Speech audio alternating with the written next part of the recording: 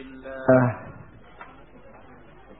الحمد لله نحمده ونستعينه ونستغفره ونؤمن به ونتوكل عليه. ونعوذ بالله من شرور أنفسنا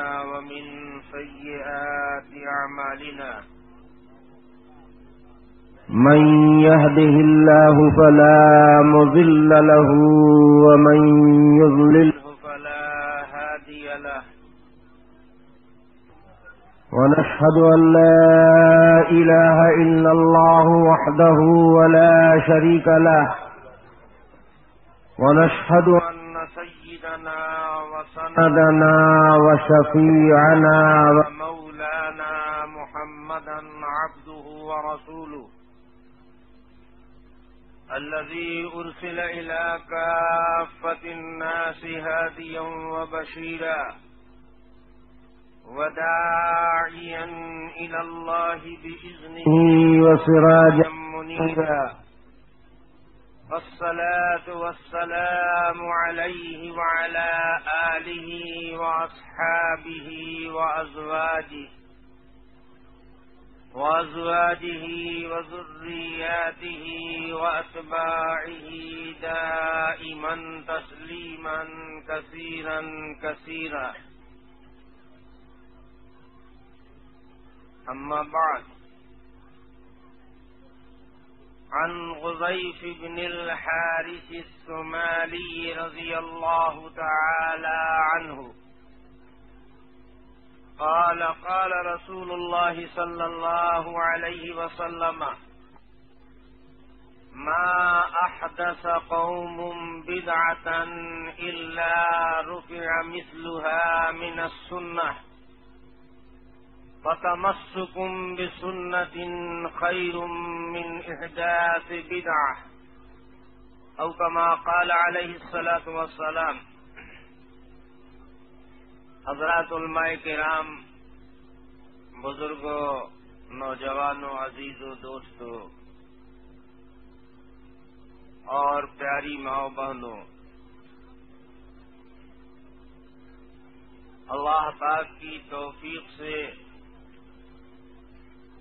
اور اس کا خاص کرم ہے کہ اس پاک پروردگار عالم نے ہم کو آپ کو دین کی نسبت سے اور عقائد عالم جناب محمد الرسول اللہ صلی اللہ علیہ وسلم کے تعلق سے اکٹھا ہونے کی توفیق عطا فرمائی اور کچھ کہنے سننے کا موقع عنایت فرمایا آپ کے یہاں کے ذمہ داروں نے، بزرگوں نے، آج کے اس اجلاس کے لیے معلوم نہیں کس خوش فہمی میں، کس حسن زن کی وجہ سے مجھ جیسے ناکارہ آدمی کا انتخاب کیا ہے۔ میری یہاں آمد ہوئی تو بہت سارے لوگوں کو صدمہ ہوا، تکلیف پہنچی اور ان کی پیشانیوں پر بل آ گئے ہیں۔ بے وجہ وہ ناراض ہے۔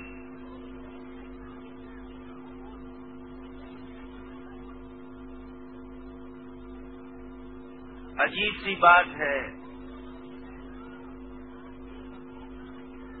کچھ لوگوں کو خواہ کی تکلیف ہوتی اور بے وجہ کا درد اٹھتا ہے۔ نام انہوں نے دیکھا نام پڑھنے کے بعد ہی پریشانی لاحق ہو گئی۔ طرح طرح کے تصورات اور خیالات باندھنے شروع کر دیے۔ ایسا معلوم ہوتا ہے کہ جیسے میری آمد سے انہیں کوئی خطرہ ہے۔ حالانکہ اس ملک میں ان کا سب سے بڑا ہمدرد میں ہی ہوں اور تنہا ہمدرد میں۔ ہوں اپنے کسی ہمدرد کے آنے پر تو اللہ پاک کا شکر ادا کرنا چاہیے۔ خوشی اور مسرت اور شادمانی منانی چاہیے تھی کہ اللہ پاک نے ہمدرد کو بھیجا ہے۔ آپ جانتے ہیں ڈاکٹر دو قسم کے ہوتے ہیں۔ ایک ڈاکٹر فزیشین ہوتا ہے اور ایک سرجن ہوتا ہے۔ سرجن جو ہوتا ہے وہ بھی مریض کا ہمدرد ہوتا ہے۔ لیکن مریض جب جاہل ہوتا ہے، نام سمجھ ہوتا ہے، تو وہ ڈاکٹر جو سرجن ہے، اس کے بارے میں اس کا خیال یہ ہوتا ہے کہ یہ ہمارا دشمن ہے۔ اگر دشمن نہ ہوتا تو چھری کیسے چلا دیتا؟ زخم کیوں پھاڑتا؟ ہمیں تکلیف کیوں پہنچاتا؟ لیکن اس کا یہ تصور غلط ہے۔ وہ مریض ڈاکٹر کے بارے میں جو رائے رکھتا ہے، کسی عقل مند کے نزدیک اس کی رائے صحیح نہیں مریض کو حق ہی نہیں پہنچتا کہ وہ ڈاکٹر کے بارے میں رائے دے۔ وہ اس پوزیشن میں نہیں۔ ڈاکٹر مریض کا علاج خود تجویز کرتا ہے۔ کیسے اس کے مرض پر قابو پایا جائے اور کیسے اس کو اس مصیبت سے نجات دلائی جائے۔ وہ سمجھتا ہے کہ صرف ٹیبلٹ سے کام چل جائے گا، کیپسول سے کام چل جائے گا۔ تو سوئی نہیں دیتا ہے۔ وہ سمجھتا ہے کہ زخم جو ہی ٹھیک ہو جائے گا تو آپریشن نہیں کرتا ہے۔ لیکن ڈاکٹر کی تشخیص جب یہ ہوتی ہے کہ یہ زخم بغیر آپریشن کے صحیح نہیں ہوگا اور اس تھوڑے کو اگر نہیں پھوڑا جائے گا تو یہ ناسور بن جائے گا اور یہ فاسد مواد جسم میں پھیل کر پورے جسم کو خراب کر ڈالے گا۔ ایسی حالت میں ڈاکٹر مریض کی ہمدردی میں اس کی جان بچانے کے لیے اس کی چیخ پکار پر کوئی دھیان نہیں دیتا ہے۔ اس کی کوئی فریاد نہیں سنتا ہے۔ اس پر جبر کر کے اس کی مرضی کے خلاف اس کا آپریشن کر ہی دیتا ہے۔ کیا واقعی یہ آپریشن کرنے والا ڈاکٹر اس کا دشمن ہے؟ اس کا دشمن نہیں ہے۔ خدا کی قسم وہ اس کا ہمدرد ہے، بے خواہ ہے۔ اسی کے واسطے یہ آپریشن اس نے کیا ہے۔ یہ تھوڑی دیر کی تکلیف اس لیے اس نے اس کو پہنچائی ہے کہ اس کو زیادہ دنوں کا آرام مل جائے۔ تھوڑی سی اسے تکلیف اس لیے پہنچائی گئی ہے کہ زیادہ دنوں تک وہ آفیت سے اور آرام سے رہے گا۔ تھوڑا سا مواد اس کے جسم کا جو غلط قسم کا تھا، اس کو اس لیے نکالا گیا کہ جسم کے اندر جو صحیح عناصر ہیں وہ محفوظ ہو جائیں اور انہیں کوئی نقصان اور صدمہ نہ پہنچے۔ تو ہمارے علماء کرام جس طرح روحانی ڈاکٹر ہوتے ہیں، علاج کرتے ہیں، آپ کی ہماری کمزوریوں کو ہمارے سامنے رکھتے ہیں، ہماری اصلاح کا جذبہ رکھتے ہیں، ہماری خیر خواہی کے لیے وہ کر رہے ہیں۔ لیکن کام کے طریقے جدا گانا ہوتے کچھ لوگ فزیشین ہیں، وہ اپنے انداز میں کام کرتے ہیں اور کچھ لوگ سرجن قسم کے ہیں، وہ اپنے انداز میں کام کرتے ہیں۔ یہ سمجھنا غلط ہے کہ خالی فزیشین ہی ہونا چاہیے ملک میں اور کوئی سرجن نہ ہو۔ سوچیے اگر ایسا ہو جائے تو ملک کے مریضوں کے حق میں یہ بہتر ہوگا۔ یا خطرناک ہوگا۔ انسانی طبیعتیں بہت مختلف۔ انسان کتنے مزاج کے ہوتے ہیں، کتنی طبیعتیں کے ہوتے ہیں، ہر چیز کی تو تقسیم کر لی جا سکتی ہے، لیکن انسانی مزاج اور طبیعتوں کی کوئی تقسیم نہیں کی جا سکتی۔ یہ نہیں کہہ سکتے آپ کے دو ہی مزاج کے انسان ہوتے ہیں۔ یہ نہیں کہہ سکتے کہ دس ہی قسم کے لوگ ہوتے ہیں۔ جتنے انسان ہیں، الگ الگ مزاج ہے، الگ الگ آواز ہے، الگ الگ انداز ہے، الگ الگ ان کی پسند ہے، ان کا رجحان ہے، میلان ہے۔ صلاحیتیں جدا گانا ہے۔ اللہ پاک نے اپنی قدرت کا اسے نمونہ بنایا ہے۔ یہ رنگوں کا اختلاف، یہ سائز کا اختلاف، یہ اداؤں کا اختلاف، یہ اندازوں کا اختلاف یہ آوازوں کا اختلاف اللہ کی قدرت کے کمال کی دلیل ہے۔ اللہ تعالیٰ فرماتے ہیں کہ وہ اختلاف و الوانی کم و الفنتی کم تمہاری رنگتوں میں اختلاف رکھا ہے ہم۔ کسی کو گورا بنا دیا، کسی کو سانولا بنا دیا، کسی کو گورا چٹا بنا دیا، کسی کو سفید کلر دے دیا، کسی کو کالا توا بنا دیا۔ یہ تمہارے رنگوں میں اختلاف ہے۔ تم سب انسان ہو لیکن سب کی آواز ایک دوسرے سے جدا گانا ہے۔ ایک کروڑ انسان ہو تو کروڑوں کی آواز میں ایک دوسرے سے فرق ہے، اشتباہ نہیں ہوتا۔ آواز سے ہر ایک پہچان لیا جاتا ہے۔ اللہ پاک فرماتے ہیں کہ دیکھو، سب کی آواز حلق سے، جبڑوں سے، زبان سے اور اس کے مخارج سے نکلتی ہے۔ لیکن اس کے باوجود سب کی آواز میں فرق ہے۔ سب میں امتیاز ہم نے رکھا ہے۔ یہ میری قدرت کا کرشمہ ہے۔ یہ کمال ہے قدرت کا۔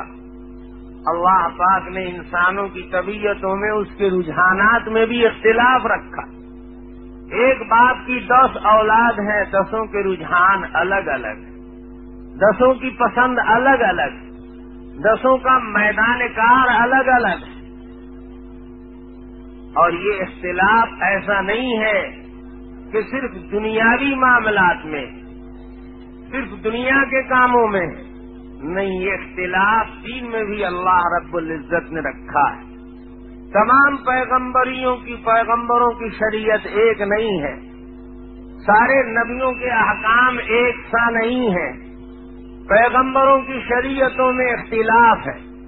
آسمانی کتابوں کے احکام میں اختلاف ہے۔ یہ اختلاف نبیوں نے نہیں پیدا کیا، یہ اختلاف زمین پر نہیں پیدا کیا گیا۔ اللہ پاک نے قوموں کے مزاج، زمانے کے حالات اور دوسری نزاکتوں کے پیش نظر احکام نازل فرمائے۔ آسمان سے کتابیں اتاری تو احکام میں اختلاف، مسائل میں اختلاف رکھا۔ اور انبیاء کا نمونہ صحابہ کرام رضوان اللہ تعالی علیہ مجمعین ہے۔ صحابہ کرام میں انبیاء کے سارے اختلافات جمع کر دیے گئے۔ علماء نے لکھا ہے، محققین نے لکھا ہے کہ یہ صحابہ کا اختلاف امت کے لیے بڑی رحمت ہے۔ اور صحابہ کے اختلاف میں حضور پاک صلی اللہ علیہ وسلم کی شریعت کا کمال اور آپ کی شریعت کی جامعیت کی علامت آ گئی۔ تمام انبیاء کی شریعتوں کے جو احکامات الگ الگ تھے، وہ صحابہ کے اختلاف کی شکل میں شریعت مصطفیہ میں آ گئے۔ تو اللہ پاک نے صحابہ کے اختلاف کے ذریعے سے آدم علیہ السلاط وسلام سے لے کر عیسیٰ علیہ السلاط وسلام کی شریعتوں اور مسائل اور احکام کے اختلافات کو اس امت تک منتقل کر دیا۔ اس لیے اختلاف کو رحمت کہا گیا ہے۔ فرمایا گیا ہے کہ اختلاف رحمت کا سبب ہے۔ لیکن آج انسان حماقت سے اس کو زحمت سمجھتا ہے۔ اختلاف میں بڑی رحمت ہے، بہت برکت ہے، بڑا اس سے نفع ہے۔ اور یہ رسول پاک صلی اللہ علیہ وسلم کی شریعت کا کمال ہے۔ اختلاف نہ ہوتا تو تنگی پیدا ہوتی، دشواری پیدا ہوتی، مشکلات میں انسان پڑ جاتا۔ اختلاف نے راہیں کشادہ کر دی، دشواریوں سے نکال دیا۔ اگر کسی منزل پر پہنچنے کا صرف ایک ہی راستہ ہو، تو چاہے کتنی ہی زیادہ ٹرافک ہو، کتنا ہی بڑا مجمع ہو، کتنی ہی مختلف طبیعتوں اور ذوق کے لوگ ہیں جب بھی جائیں گے تو اسی راستے سے۔ ازدحام ہوگا، لوگ کچل جائیں گے۔ لیکن کئی راستے ہوں تو اپنے اپنے ذوق اور اپنی اپنی پسند کے مطابق۔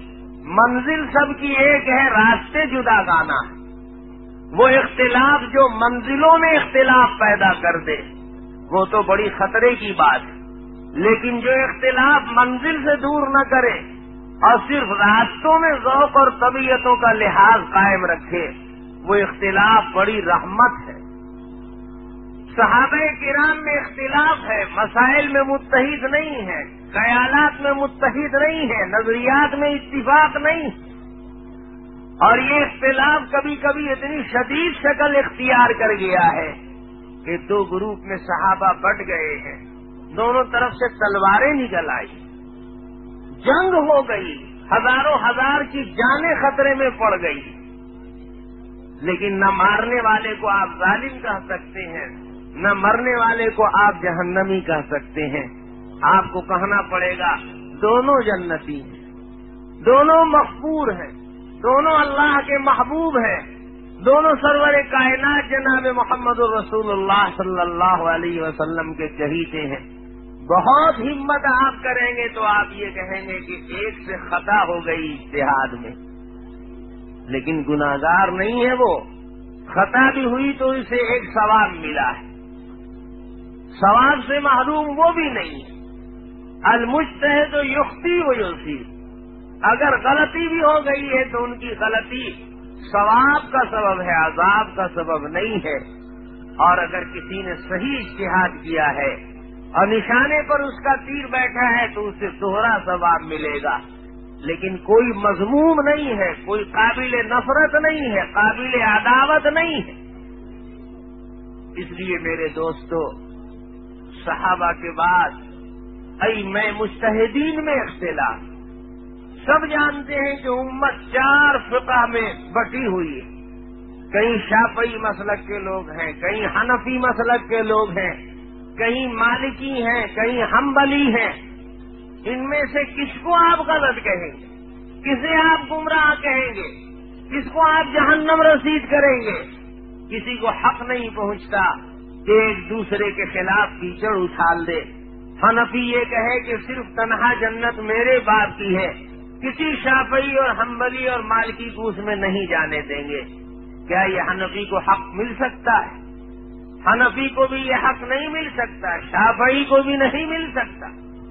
بہت زیادہ سے زیادہ وہ یہ کہے گا کہ ہماری امام کی رائے حدیث و قرآن سے زیادہ قریب کر ہے۔ ان کے پاس کچھ زیادہ مضبوط دلائل ہیں۔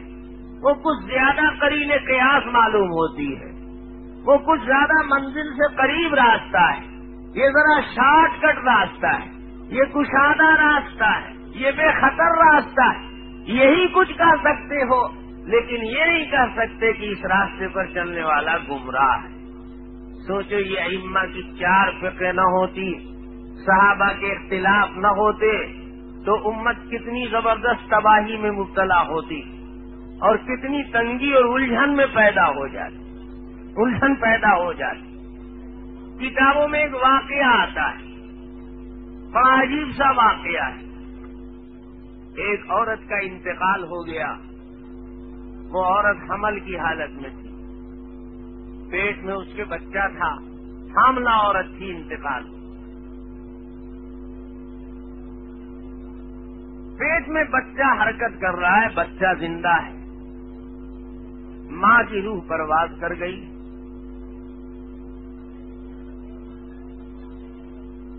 اب ایسی حالت میں کیا کیا جائے؟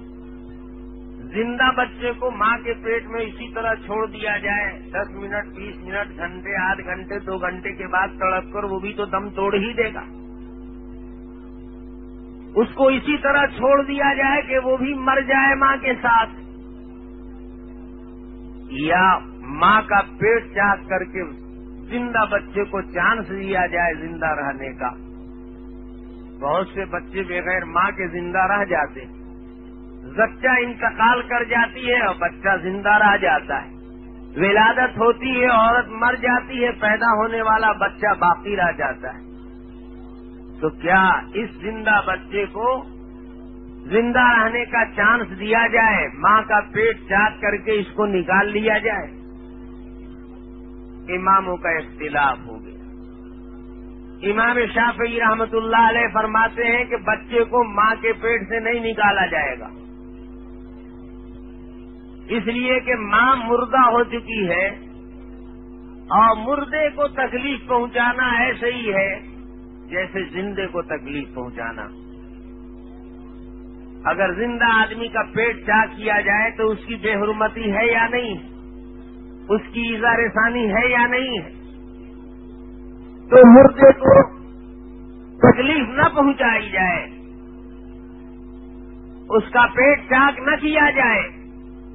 امام شافعی رحمت اللہ علیہ مرحوما ماں کے احترام اور مردے کے احترام کی طرف جاتے ہیں۔ اس لیے وہ کہتے ہیں کہ بچہ اگرچہ زندہ ہے پیٹ میں، لیکن اس کو نکالا نہیں جائے گا، اسی حال میں ماں کے پیٹ میں چھوڑ دیا جائے۔ ہمارے امام اعظم ابو حنیف رحمت اللہ علیہ فرماتے ہیں کہ نہیں، موت و حیات کا مالک اللہ پاک ہے ہو سکتا ہے وہ بچہ زندہ رہ جائے، جب ابھی وہ زندہ ہے ماں کے پیٹ میں، حرکت کر رہا ہے۔ ہو سکتا ہے پیٹ سے باہر آنے کے بعد بھی زندہ رہ جائے۔ ہم ایک زندے کو خام خام مار ڈالے۔ ارے ماں کے پیٹ کے باہر وہ زندہ ہوتا تو مارنا گناہ تھا یا نہیں تھا؟ ماں کے پیٹ کے اندر زندہ ہے، زندہ رہنے کا امکان ہے، پھر اسے مار ڈالنا۔ یہ تو وعدے خفی ہے یہ تو زندہ کو مار ڈالنا ہے، قتل کرنا ہے۔ اس لیے ماں کا پیٹ چاک کر کے بچے کو زندہ رہنے کا چانس دیا جائے گا۔ اختلاف ہو گیا۔ اللہ پاک کی شان اس مرنے والی ماں کا رشتہ دونوں طبقے سے تھا۔ اس کے سسرال کے لوگ شاقئی مسلک کے میکے کے لوگ حنفی مسلک کے دونوں کے مسلک میں اختلاف ہے دونوں کی فقہ میں اختلاف ہے مسائل میں حلال حرام کا اختلاف جائز ناجائز کا اختلاف لیکن یہ اختلاف مسلمانوں میں کبھی سر فٹول کا سبب نہیں بنا کبھی آپس میں توڑ کا سبب نہیں بنا ایک دوسرے سے رشتے داریاں ایک دوسرے کا احترام، ایک دوسرے کے ساتھ اخلاق، ایک دوسرے کے ساتھ تعلقات۔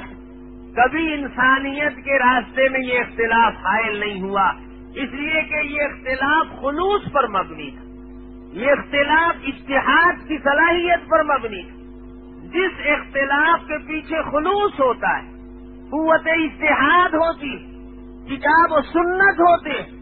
اس اختلاف سے توڑ نہیں پیدا ہوتا ہے۔ وہ اختلاف رحمت کا سبب بنتا ہے۔ لیکن جس اختلاف کے پیچھے اغراض جو اختلاف کسی سیاسی مقصد کے لیے کیا جاتا ہے، جو اختلاف خواہشات کی بنیاد پر ہوتا ہے، غلط ارادوں سے ہوتا ہے کسی مقصد کے لیے ہوتا ہے کہ کسی کو زیر کیا جائے، نیچا دکھایا جائے، اپنا قد بڑا دکھایا جائے۔ دنیا حاصل کی جائے۔ تو یہ اختلاف ہمیشہ سر اول کا سبب بنتا ہے۔ اس سے ہمیشہ کتنے فساد پیدا ہوتے کوریزیاں ہوتی اس کو اختلاف شرعی نہیں کہا جائے گا۔ شریعت کے اصطلاح میں اس کو فساد کہا جائے گا۔ اختلاف نہیں کہا جائے گا۔ اختلاف تو اماموں کا اختلاف اختلاف تو صحابہ کا اختلاف اختلاف تو مشتحدین کا اختلاف۔ خدا کی قسم انہوں نے کسی فاسد مقصد کے تحت کسی سے اختلاف نہیں کیا۔ کسی دنیا کی غرض کے لیے اختلاف نہیں کیا۔ کسی جاہ منزل کی طرف کو مقصود انہوں نے نہیں بنایا۔ کسی منصب کے لیے نہیں، بلکہ اللہ کے واسطے پورے خلوص اور نیک نیتی سے اختلاف ہوا۔ اس لیے اختلاف کے باوجود ان میں اتحاد رہا۔ دیکھو انگلیوں کی سائزوں میں اختلاف، انگلیوں کے سائز میں اختلاف، قد میں اختلاف، ناموں میں اختلاف، لیکن ساری ہتھیلیاں، ساری انگلیاں ہتھیلیوں ہی میں پیوست ہتھیلی جب ضرورت سمجھے گی، تو ان سارے اختلافات کے باوجود سب کو متحد کر کے جمع کر لے گی۔ جب اختلاف صحیح ہوتا ہے تو اتحاد پیدا ہو جاتا ہے۔ جب اختلاف فاسد ہوتا ہے، اتحاد نہیں پیدا ہو سکتا ہے۔ وہ ایک دوسرے سے قریب نہیں ہو سکتے۔ سیدنا معاویہ رضی اللہ تعالیٰ عنہ ایک طرف میدان جنگ میں۔ سیدنا علی مرتضی رضی اللہ تعالیٰ عنہ ایک طرف میدان جنگ میں۔ دونوں ایک دوسرے کے بالکل فریق ہیں، مخالف ہیں۔ شدید قسم کا اختلاف۔ لیکن اس کے پیچھے کوئی دنیاوی مقصد نہیں ہے، کوئی اپنی فاسد غرض نہیں ہے، بلکہ ان کو کتاب و سنت کے اشتہاد نے دو رخ پر رکھا ہے۔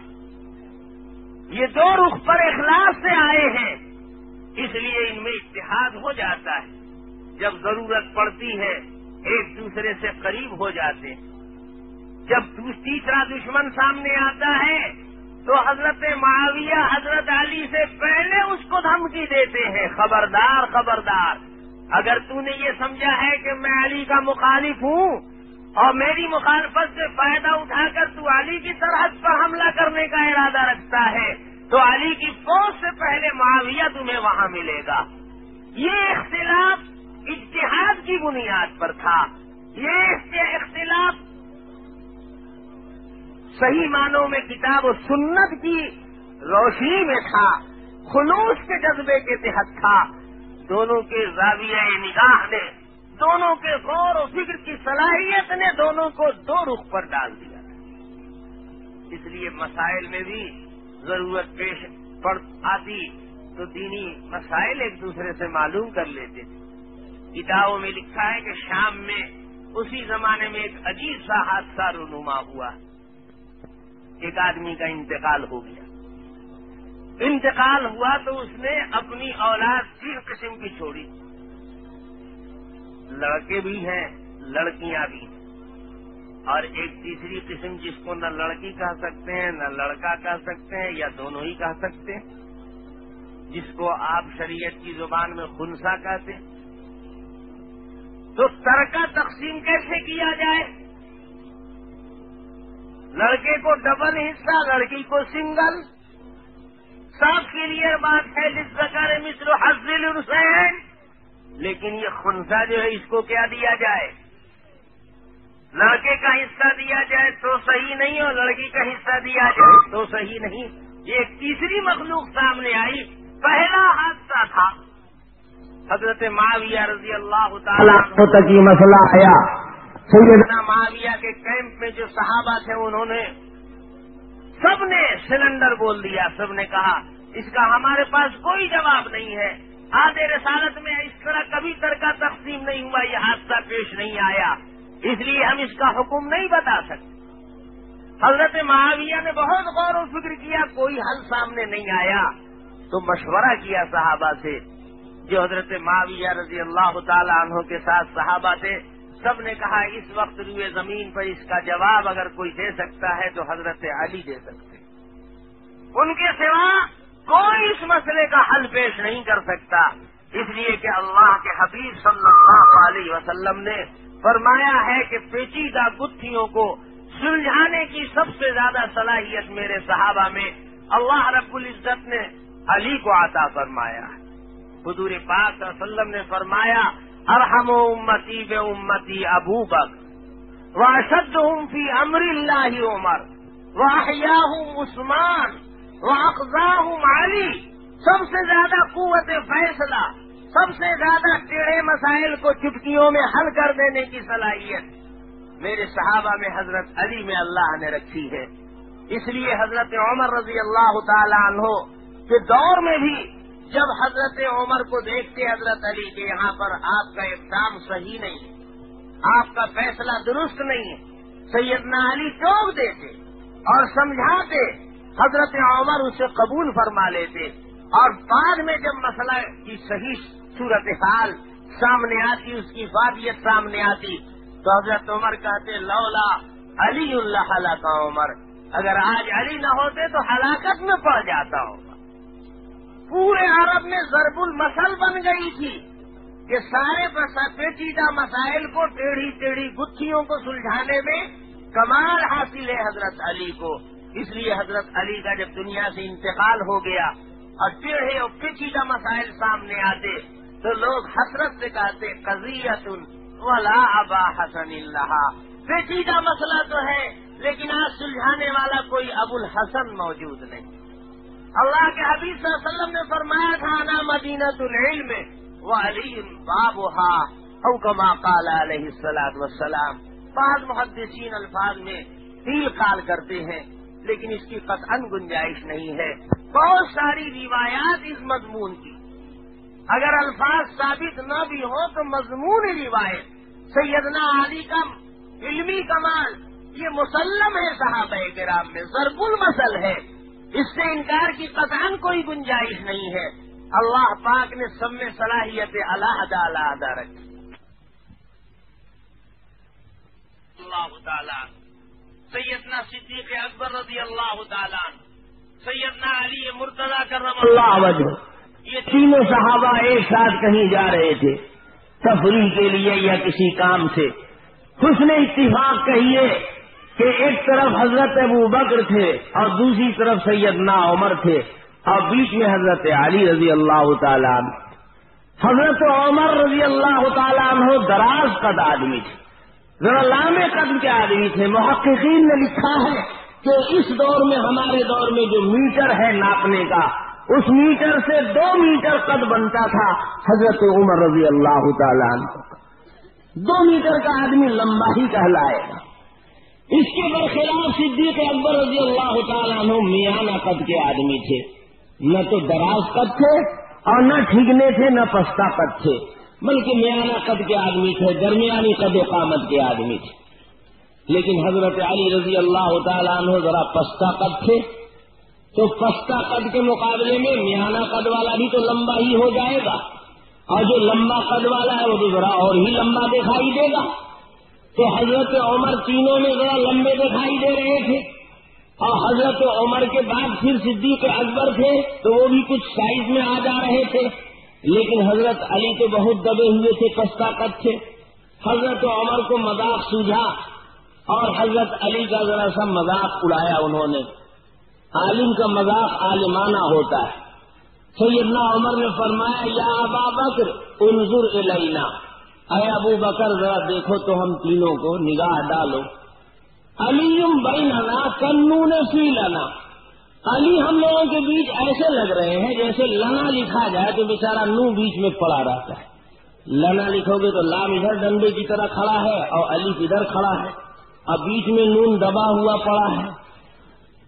تو حضرت عمر نے کہا کہ ہم دونوں کے بیچ میں علی ایسے لگ رہے ہیں جیسے لنا لکھا جائے تو بیچ میں نون بیچارہ پڑا رہتا ہے۔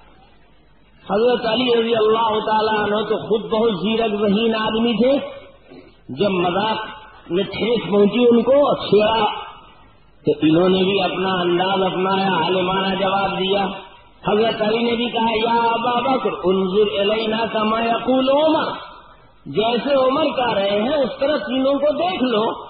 یہ صحیح کہہ رہے ہیں کہ میں تم دونوں کے بیچ میں ایسا ہی ہوں جیسے لنا کے بیچ میں نو ہوتا ہے۔ ولاکن لولا کن تو بین لکن تو مالا لیکن سوچ لو لنا کے بیچ میں سے نو نکال دیا جائے گا تو باقی باقی کیا بچے گا؟ لام علی لا لا پتا دونوں۔ اگر میں تم دونوں کے بیچ سے نکل جاؤں تو تم دونوں لا پتا۔ میری ہی ذات سے تم دونوں۔ اللہ پاک نے یہ ذہانت ذکاوت عطا فرمائی۔ سبھا واقعات کتابوں میں لکھے ہوئے ہیں۔ حضرت علی رضی اللہ تعالیٰ عنہ کے سلسلے میں۔ اسی لیے حضرت علی کو مشکل کشا کہا جاتا تھا۔ مشکل پیچیدہ مسئلے کو کھول دینا۔ مشکل کشا کا مطلب تھا الجھن کو دور کر دینا۔ یار لوگ بڑے ہوشیار ہوتے ہیں، الفاظ کہیں سے لیتے ہیں مانا اپنا اس میں ڈالتے اب لوگوں نے مشکل کشا کا ترجمہ کر دیا، کسی کے اوپر کوئی آفت آ جائے، کوئی مصیبت نازل ہو جائے تو علی کو پکارو، وہ مشکل کشائی کریں گے دیکھا، مشکل کچھ تھا کس معنی میں؟ اور اس کا معنی بدل لیا یاروں نے۔ الفاظ صحیح ہے کلے میں تو حق کی نوری کا بھی ہاتھ باطل۔ کلمہ تو صحیح ہے لیکن معنی اس میں غلط شیشی ادھر مجموعہ کی ہے لیکن سپلائی کے ساتھ ہو رہا ہے۔ تو میں صرف اتنا ہی کہا کرتا ہوں کہ ہوشیار ہوشیار۔ شیشے کا لیبل مت دیکھو، ذرا کام ہٹا کر میں سے قریب کر کے دیکھو۔ اگر اتر ہوگا تو اس کی وہاں کو خوشبو کچھ اور ہوگی۔ اور کوئی شراب وراب ہوگا، جلاب ہوگا، اور کہیں کوئی غلاظت نجازت ہوگی تو اس کی خاصیت، اس کا مزاج کچھ اور ہوگا۔ تو بات تو کہیں سے کہیں جا پڑی۔ میں یہ عرض کر رہا تھا کہ اختلاف میں رحمت، اختلاف میں برکت ہے۔ بشرطے کے اختلاف، انسان کی طبیعت میں اختلاف۔ آپ کو سفید کلر پسند ہے، کسی کو ہرا کلر پسند ہے۔ بتاؤ دونوں میں کون ناجائز ہرا والا ناجائز ہے، سفید والا ناجائز ہے۔ آپ کو کلی دار پسند ہے، کسی کو بغیر کلی کا پسند ہے۔ آپ کو کلر والا پسند ہے، کسی کو ناخونی کلر پسند ہے۔ آپ کو پاکٹ اندر بھی چاہیے، باہر بھی چاہیے، کسی کو صرف باہر چاہیے۔ اختلاف۔ خدا کی قسم، کسی چیز میں اتحاد نہیں۔ ایک ہزار انسانوں کی آواز میں اتحاد نہیں۔ ایک ہزار انسانوں کی ایک ہزار ناک میں اتحاد نہیں۔ ایک ہزار انسانوں کی آنکھوں میں اتحاد نہیں۔ جو اتحاد اس طرح کا چاہتے ہیں کہ ہر چیز کو ایک سائز پر برابر کر دیا جائے، خدا کی قسم وہ فطرت کے خلاف اشتہار چاہتے ہیں۔ یہ مساوات، اسلامی مساوات نہیں ہے اللہ نے عورت کی شکل الگ بنائی ہے، مرد کی الگ بنائی۔ خدا نے اس اولی کو اعلیٰ حضرت بنا دیا، یہ بیچاری ادنا حضرت بھی نہیں بن پائی۔ اس کو دکھاتا ہوں، کوئی ناراض نہیں ہوتا، اسے اٹھا دیتا ہوں، لوگ چیبر ابھی ہو جاتے ہیں۔ بات کیا ہے؟ خدا تعالیٰ نے اختلاف میں کمال رکھا۔ خدا کی قسم، سب کو اسی سائز کا اللہ بنا دیتے۔ پتلے سوراخ کی بوتل میں ہی ہوتا، نکالو، کیسے نکالو گے؟ خدا کی قسم، اللہ پاک اگر اس کے سارے پوروں کو لوز نہ بناتے، ٹائٹ بنا دیتے سیدھی انگلی ڈالتے گھی نہیں نکلتا سیدھے ہی نکل آتا۔ خالی کا خالی رہ جاتا۔ ذرا سا ٹیڑھا کر لو، لوج ہے، نکل جائے گا، گھی کھا لو گے۔ دیکھو، خدا تعالیٰ نے اختلاف میں کتنی برکتیں رکھی۔ کتنے فوائد رکھے ہیں اللہ رب العزت نے۔ نہ ہر دن رنس نہ ہر مرد مرد خدا پنج انگشت یسا نہ کر دے۔ اللہ نے پانچوں انگلیوں کا ایک سائز نہیں بنایا۔ جہاں پر یہ انگلی نہیں کام آتی، وہاں یہ کام دے دیتی ہے۔ جہاں اس سے کام نہیں بنتا، وہاں اس سے بن جاتا ہے۔ جہاں یہ نہیں پہنچ پاتی، یہ پہنچ جاتی ہے۔ سب ایک طرف ہو جاتے ہیں، یہ ذرا ایک طرف ہو کر کس کے تھام لیتے ہیں۔ یہ نہ رہتے سڑک جاتا، رسی ہاتھ میں نہیں تھام پاتے تم۔ اللہ پاک نے اختلافات میں تمہارے لیے ہزاروں کروڑوں مزلحتیں رکھی۔ مسائل میں اختلاف ہے، برکت ہے اس میں۔ وسعت ہے اس میں، رحمت ہے۔ اللہ کے رسول صلی اللہ علیہ وسلم کی شریعت کی جامعیت اور کلام کمال کی علامت عورت کا انتقال ہو گیا۔ لوگوں نے اسے غسل بھی دے دیا، کفن بھی پہنا دیا، قبر میں اتارا۔ قبر میں اتارنے کے لیے آپ جانتے ہیں، عزیز قریب ہی لوگ آتے ہیں مردے کو نیچے لینے کے لیے۔ قبر میں کون اترتا ہے؟ خاص کر عورت کے جنازے کو پکڑنے کے لیے۔ اجنبی تو قبر میں نہیں آتا عزیز قریب آتے کفن پر گرہ لگا دی جاتی ہے۔ کیونکہ لاش چار پائی پر جائے گی تخت پر جائے گی۔ ہوا سے کہیں ایسا نہ ہو کفن کھل جائے۔ تو تین جگہیں گرہیں لگا دی جاتی ہیں۔ سر کے اوپر، پاؤں کے نیچے اور کمر پر۔ جب کمر بند کھولنے لگے لوگ، تو ایسا محسوس ہوا کہ کفن کے نیچے کوئی چیز حرکت کر رہی ہے۔ قبر میں جو صاحب اترے تھے انہیں شبہ ہو کوئی کیڑا اڑا تو نہیں گھس گیا؟ ہاتھ جو کمفن پر رکھا تو دیکھا کیڑا نہیں ہے کہ پیٹ میں بچہ حرکت کر رہا ہے۔ انہوں نے قبر کے اوپر کے حاضرین کو اطلاع دی کہ مرنے والی کی پیٹ میں بچہ زندہ ہے اور حرکت کر رہا ہے، ابھی تک زندہ ہے۔ اب اوپر میں دونوں مسلک کے لوگ ہیں۔ شاقی مسلک والے کہتے ہیں، چلو تختہ بچھاؤ، تم نکلو، مردے کو چھوڑو، تختہ بچھاؤ۔ دفن کا کام کرو۔ حنفی لوگ کہتے ہیں کہ نہیں بھائی، ارے اللہ نے پتہ نہیں اسی بچے کے ذریعے اس کا نام روشن کرنے کا فیصلہ کیا ہو۔ کون جانتا ہے کہ بچہ بچ جائے گا یا نہیں بچے گا؟ ابھی تو زندہ ہے زندہ ہے تو زندہ رہنے کا چانس دو۔ اب یہ موت کا وقت تھا، جذبات کا وقت تھا۔ خود شاہی مسلک کے لوگوں میں اختلاف ہو گیا۔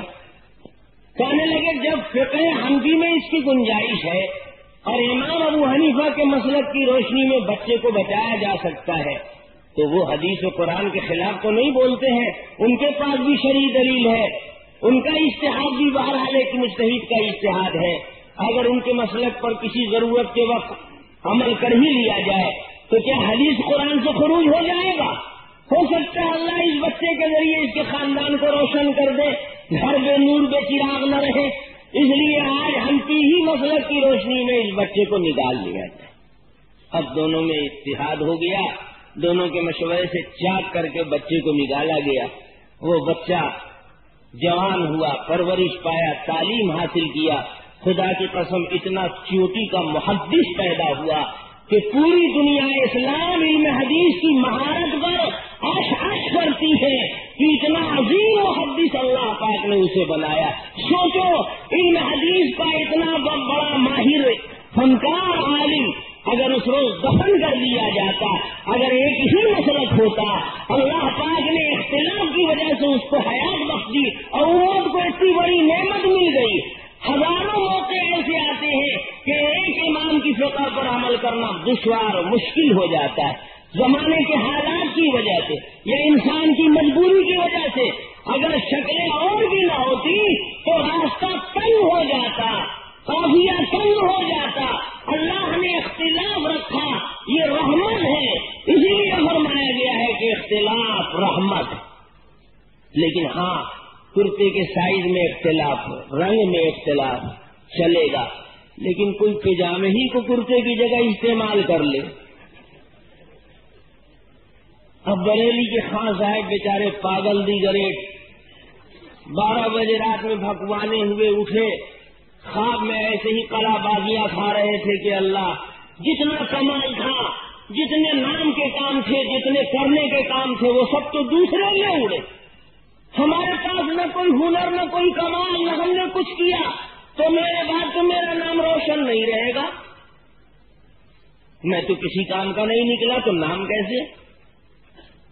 کسی میں آنکھ کھلی تو انہوں نے آؤ دکھانا تاؤ پاجامہ اٹھایا اور دونوں آستین ڈال دی، ہاتھ ڈال دیے اس میں۔ اور کشادہ آستین والا کرتا تھا، اس میں ٹانگیں ڈال دی۔ بھائی تو آستین اگر کشادہ ہے، پاؤں پتلے سائز کے تو گھس ہی جائیں گے۔ اور پاجامے کے پائچے میں ہاتھ بھی گھس جائیں گے۔ اور جناب بھائی ہمارا جو ہو جاہو جلا شاہ راہ آم پر نکل گئے ارے کیا قیامت برپا کر دیا آپ نے۔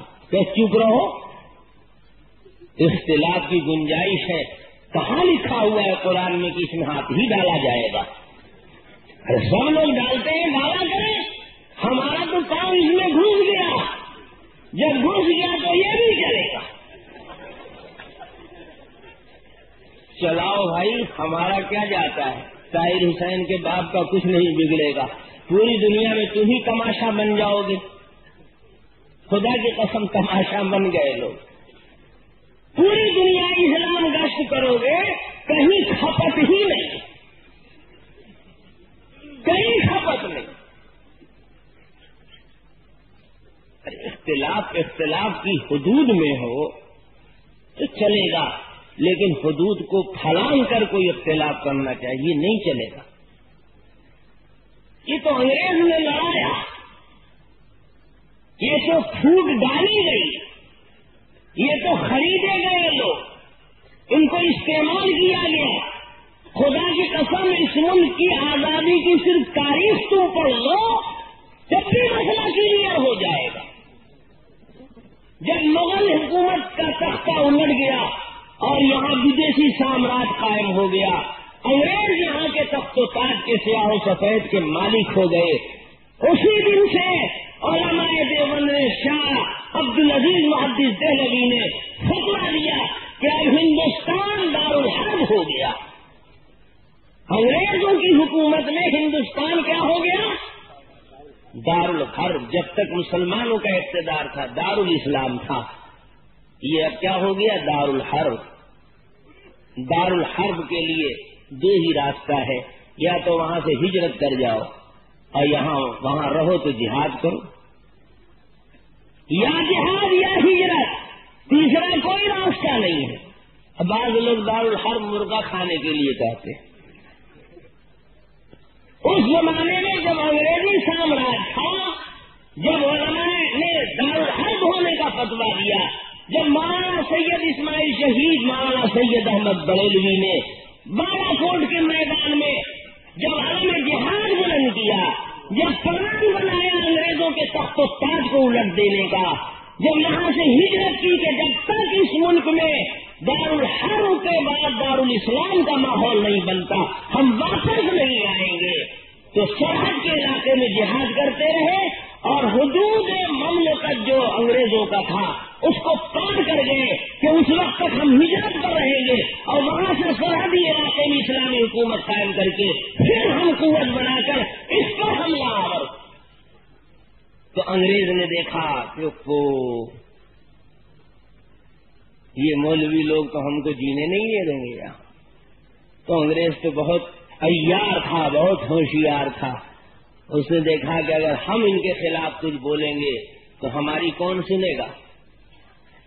ایسا کرو کہ بات میری ہو اور بولے میں بولے مولوی مولوی کو مولوی سے لڑاؤ۔ میری بات مولوی کے زبان سے ہوگی تو آٹومیٹک کچھ ادھر ہوں گے، کچھ ادھر ہوں گے۔ چنانچہ دو مولوی شکل کے آدمی کو انگریز نے خریدا۔ ایک نے قادیان سے فتوا دیا کہ اب جہاد کا کیا سوال پیدا ہوتا ہے؟ جہاد تو زمانے رسالت میں تھا، خلافت راشدہ میں تھا۔ اس دور میں جہاد کا جہاد ختم، جہاد اب نہیں، اب جہاد بھی قلم ہے صرف۔ کتابیں لکھو درائل سے سمجھاؤ، ہاتھ مت اٹھاؤ۔ قتل و قتال کا ضرب و حرب کا میدان گرم مت کرو، ہتھیار مت استعمال کرو۔ جہاد ختم ہو گیا، وہ منسوخ ہو گیا۔ جس زمانے میں تھا، اس زمانے میں تھا۔ اس دور میں جہاد وہاد نہیں ہے۔ یہ مولوی لوگ جہاد کے نام پر انگریزوں کے خلاف جو ماحول بنا رہے ہیں۔ ان کو کچھ مسئلہ معلوم نہیں۔ پھر اس نے جہاد کو منسوخ کر دیا۔ چول زیادہ کھسکی ہوئی تھی اسکرو زیادہ ڈھیلا تھا۔ علماء اسلام نے پرخچے اڑا دیے قادیانی کے۔ تم کیسے کہتا ہے کہ جہاد ختم ہو گیا؟ اللہ کے حبیب صلی اللہ علیہ وسلم کا فرمان موجود ہے، الجہاد و ماضی میرا یوم قیامہ جہاد کا فریضہ قیامت تک جاری رہے گا۔ نماز قیامت تک فرض رہے گی۔ چاہے ساری آبادی کے لوگ چھوڑ دیں۔ نماز چھوڑ دینے سے فرضیت ختم ہو جائے گی۔ اگر آج مسلمان جہاد نہیں کر رہا ہے، تو اس کا گناہ مسلمانوں کی گردن پر ہے۔ جہاد کا فریضہ منسوخ نہیں ہوا ہے۔ جب قادیانی نے دیکھا کہ تو چلنا مشکل ہے ان کے سامنے۔ تب اس نے کہا کہ اچھا گھبراؤ مت۔ تم ابھی مولوی مجھ کو سمجھ رہے ہو، میں پیغمبر ہو چکا ہوں۔ اب یہاں سے پیترا بدل دیا۔ انگریز نے کہا، ارے بے وقوف، کیا دیکھ رہا ہے؟ ایک چھلانگا اور مار دے۔ ایک چھلانگا اور ماری۔ اس نے کہا کہ سنو مولویو، جہاد کو منسوخ جو میں نے کہا ہے، وہ ایک عالم و مفتی کی حیثیت سے نہیں۔ میں کہ قیامت کے قریب جو عیسیٰ علیہ السلام آنے والے تھے، وہ میں ہی عیسیٰ ہوں۔ اور تمہارے ہی نبی کی حدیث میں ہے کہ عیسیٰ علیہ السلام آئیں گے تو یزول الحربا وہ جہاد کو ختم کر دیں گے۔ تو بحثیت پیغمبر میں نے جہاد منسوخ کر دیا۔ دیکھا، انگریز نے نبی بنا دیا اس کو۔ پہلے نبوت کا دعویٰ نہیں کیا۔ قادیانی نے پہلے جہاد کے منسوخ ہونے کا فتوا دیا۔ پہلے انگریزوں کی حمایت میں فتوا دیا، لیکن جب علماء اسلام کے سامنے دلائل کے میدان میں صفر نکلا، بات چل نہ سکی، تو انگریز کے اشارے سے فتوا دیا تھا۔ انگریز کی حمایت میں فتوا دیا تھا۔ تو انگریز نے کہا، بیٹے، گھبرانے کی بات نہیں، مفتی ہم نے بنایا تو نبی بھی ہم بنائے۔ مارا سلام پیغمبر بن گیا۔ اب دیکھیے دلائل۔ قرآن سے اپنی نبوت ثابت کرتا تھا۔ کہا تھا مبشرم بے رسولی یاتی امبادی اسم احمد۔ اللہ کے رسول خود بشارت دیتے ہوئے آئے تھے کہ میرے بعد ایک پیغمبر آئے گا، ایک رسول آئے گا ان کے بعد، جس کا نام ہوگا احمد۔ میں غلام احمد، وہی رسول۔ حضرت موہن عطا اللہ صاحب بخاری رحمت اللہ علیہ نے فرمایا، ارے بے وقوف گد الزی خر دماغ۔ آیت میں تو اسمہ احمد ہے اور تیرا نام ہے غلام احمد۔ آنے والے کا نام احمد بتایا گیا، تو تو احمد نہیں، تو تو غلام احمد ہے۔ تو قادیانی صاحب بولنے لگے کہ دیکھیے حضور، اصل نام ہمارا تو صرف احمد ہے۔ وہ تو ماں باپ نے غلام بڑھا دیا۔ ہے میرا پیور خالص نام تو صرف احمد ہی ہے۔ ماں باپ کی غلطی سے غلام بڑھ گیا۔ اس لیے اس غلطی کو چھوڑیے، جو خالص نام ہے وہ تو احمد ہی ہے۔ مولانا عطا اللہ شاہ بخاری رحمت اللہ علیہ نے فرمایا کہ اچھا اچھا۔ میں تو سمجھ رہا تھا کہ ایسا حادثہ میرے ہی ساتھ ہوا ہے، لیکن آپ کے ساتھ بھی ایسے ہی حادثہ ہو گیا۔ میرا بھی نام صرف اللہ تھا۔ یہ تو ماں باپ نے غلطی سے اس کے پہلے عطا لگا دیا تو عطا اللہ ہو گیا۔ میں سمجھ رہا تھا کہ تنہا میرے ہی ساتھ یہ حادثہ ہوا ہے۔ لیکن عجیب اتفاق ہے کہ آپ کے ساتھ بھی یہی واقعہ ہو گیا۔ آپ کا نام احمد تھا، غلام آپ کے ماں باپ نے بڑھا دیا۔ میرا نام اللہ تھا، عطا میرے ماں باپ نے بڑھا دیا۔ چلیے، آپ بھی صحیح، میں بھی صحیح، لیکن سوال پیدا ہوتا ہے، جب میں اللہ ہوں تو نبی تو میں نے بنایا نہیں آپ کو۔ نبی بنے کیسے؟ تو معاملہ تو پھر پھنسے کا بنا رہ گیا تو خادیانی احمد الناس۔ کیا کیجیے گا؟ یہ ذرا خان صاحب تھے، اس گروپ اتنا ڈھیلا نہیں تھا، حشر دیکھ چکے تھے قادیانی کا۔ تو انہوں نے ذرا پیترے سے کام لیا۔ اور انہوں نے کہا کہ نہیں، جہاد واد منسوخ نہیں ہوا ہے۔ ارے، صرف انگریز کو بچانا ہے نا، ان کے خلاف مسلمان تلوار نہ اٹھانے۔ میدان جنگ گرم نہ ہو۔ صرف مولانا اسماعیل شہید کی تحریک کو، شاہ عبد العزیز محدث دہلوی کے فتوے کو اثر کو ظاہر کرنا ہے، اس کو ناکام بنانا ہے، تو اس کے لیے ایک ہی پیترا تو نہیں ہے، اور بھی بہت سے پیترے ہیں۔ تو انہوں نے کہا نہیں، جہاد تو فرض ہے، لیکن جہاد ہوتا ہے دار الحرب میں۔ انگریزوں کی حکومت میں ہندوستان تو دار الاسلام ہے۔ پوری کتاب لکھ ماری اعلام العالام بحل ہندوستان دار الاسلام. پوچھیے ذرا ہاتھ پکڑ کے کہ یہ کتاب جو آپ نے تصنیف فرمائی، کیا ضرورت، کیا تقاضا تھا؟ اور بتاؤ انگریزی اقتدار میں مغل امپائر کے ختم ہونے کے بعد شاہ عبد العزیز محدث دہلی کا فتوا دار حرب کا تھا ایک مولانا اسماعیل شہید سے اختلاف رکھنے والے مولانا فضل خیر قادی شاہ عبد العزیز کے فتوے کو مانتے تھے اور دار حرب مانتے تھے۔ اگر واقعی تمہارے اختلاف میں خلوص ہوتا تو تم نے دار اس کو کیسے قرار دیا؟ معلوم ہوا کہ وہاں قادیانی بول رہا تھا، یہاں رضا خانی بول رہا ہے۔ دونوں کے سرپرست ابا جان انگریز۔ میری بات سمجھ میں اگر نہیں آتی ہو تو پریکٹیکل ہینڈ ہاتھ کنگن کو آر سی کیا ہے؟ بولو، اس وقت پوری دنیا میں قادیانیوں کا ہیڈ کوارٹر پیشوا کہاں رہتا ہے؟ بمبے میں آپ رہتے ہیں لیکن اتنے بے خبر ہیں۔ ان کے پیشوا کا نام مرزا طاہر مرزا طاہر کہاں رہتا ہے؟ لندن، پاکستان میں، چونکہ علماء حق کی کوششوں سے ان کو غیر مسلم قرار دے دیا گیا۔ مسجدوں میں مسلمان کے نماز نہیں پڑھ سکتے، مسلمانوں کی قبرستان میں دفن نہیں ہو سکتے، اپنی عبادت گاہ کو عبادت گاہ کر سکتے، مسجد نہیں کر سکتے۔ حج کا ان کو ویزا پاسپورٹ نہیں مل سکتا۔ پوری دنیا اسلام نے ریجیکٹ کر دیا ان کو کہ قادیانی کافر ہے، مرتد ہے خارج اسلام۔ جب بچے جب مار کھاتے ہیں تو کس کو یاد کرتے ہیں؟ کسی بچے کو مار کے دیکھ لو۔ باپ رے باپ، کس کو پکارے گا سب سے پہلے؟ بات کو انگریز پیدا کیے ہوئے تھے بیچارے۔ مار پڑی دنیا اسلام میں تو کہاں بھاگا؟ انگلینڈ آ جاؤ بیٹے، گھبرانے کی بات نہیں ہے۔ پیدا ہم نے کیا ہے تو جینے کا موقع ہم تم کو دیں گے۔ قادیانی کتنے ہیں دنیا میں؟ کتنی بڑی تعداد ہے ان کی۔ لیکن دیکھیے، میڈیا ان کے ساتھ ہے۔ مرزا طاہر کا پروگرام ٹی ویوں پر آ رہا ہے۔ کیوں؟ اس لیے کہ ان کو سپورٹ ہے انگریزوں کا۔ اچھالنا ہے۔ ان کو آلے کار کے طور پر استعمال کرنا ہے۔ اور دیکھو ہمارے ملک سے جب دیش نکالے ہو گئے انگریز انگریز بہادر چلا گیا تو اعلام العام کے مصنف کی بھی کھٹیا کھڑی ہو گئی۔ اس لیے کہ یہ پلان صرف علماء دیوبند کے خلاف جو میدان جہاد میں، جو انگریز کو اس ملک سے نکالنے کی جنگ چھیڑے ہوئے تھے ان کی سانس کو گرانا تھا، ان کو ہندوستانی مسلمان کے سامنے بدنام کرنا تھا۔ اس پلان کے تحت یہ فتوے لائے گئے تھے۔ حرمین سے اس پلان کے تحت کتابیں لکھی جا رہی تھی تو انگریز بہادر کا تو جنازہ نکل گیا۔ ہندو مسلم سنگ کرنے پنڈت نہرو، مہاتما گاندھی، مولانا ابو کلام شیخ الاسلام ملا اور پنڈت کے اتحاد نے ملک سے نکال ڈالا انگریز کو۔ جب انگریز بہادر نکالے گئے تو اب یہ بچے بیچارے کہاں جائیں؟ وظیفہ جو ملتا تھا، کھانا پانی بند تو صرف حلوے چراجی مرادی سے کتنے دن گزر چلے گا؟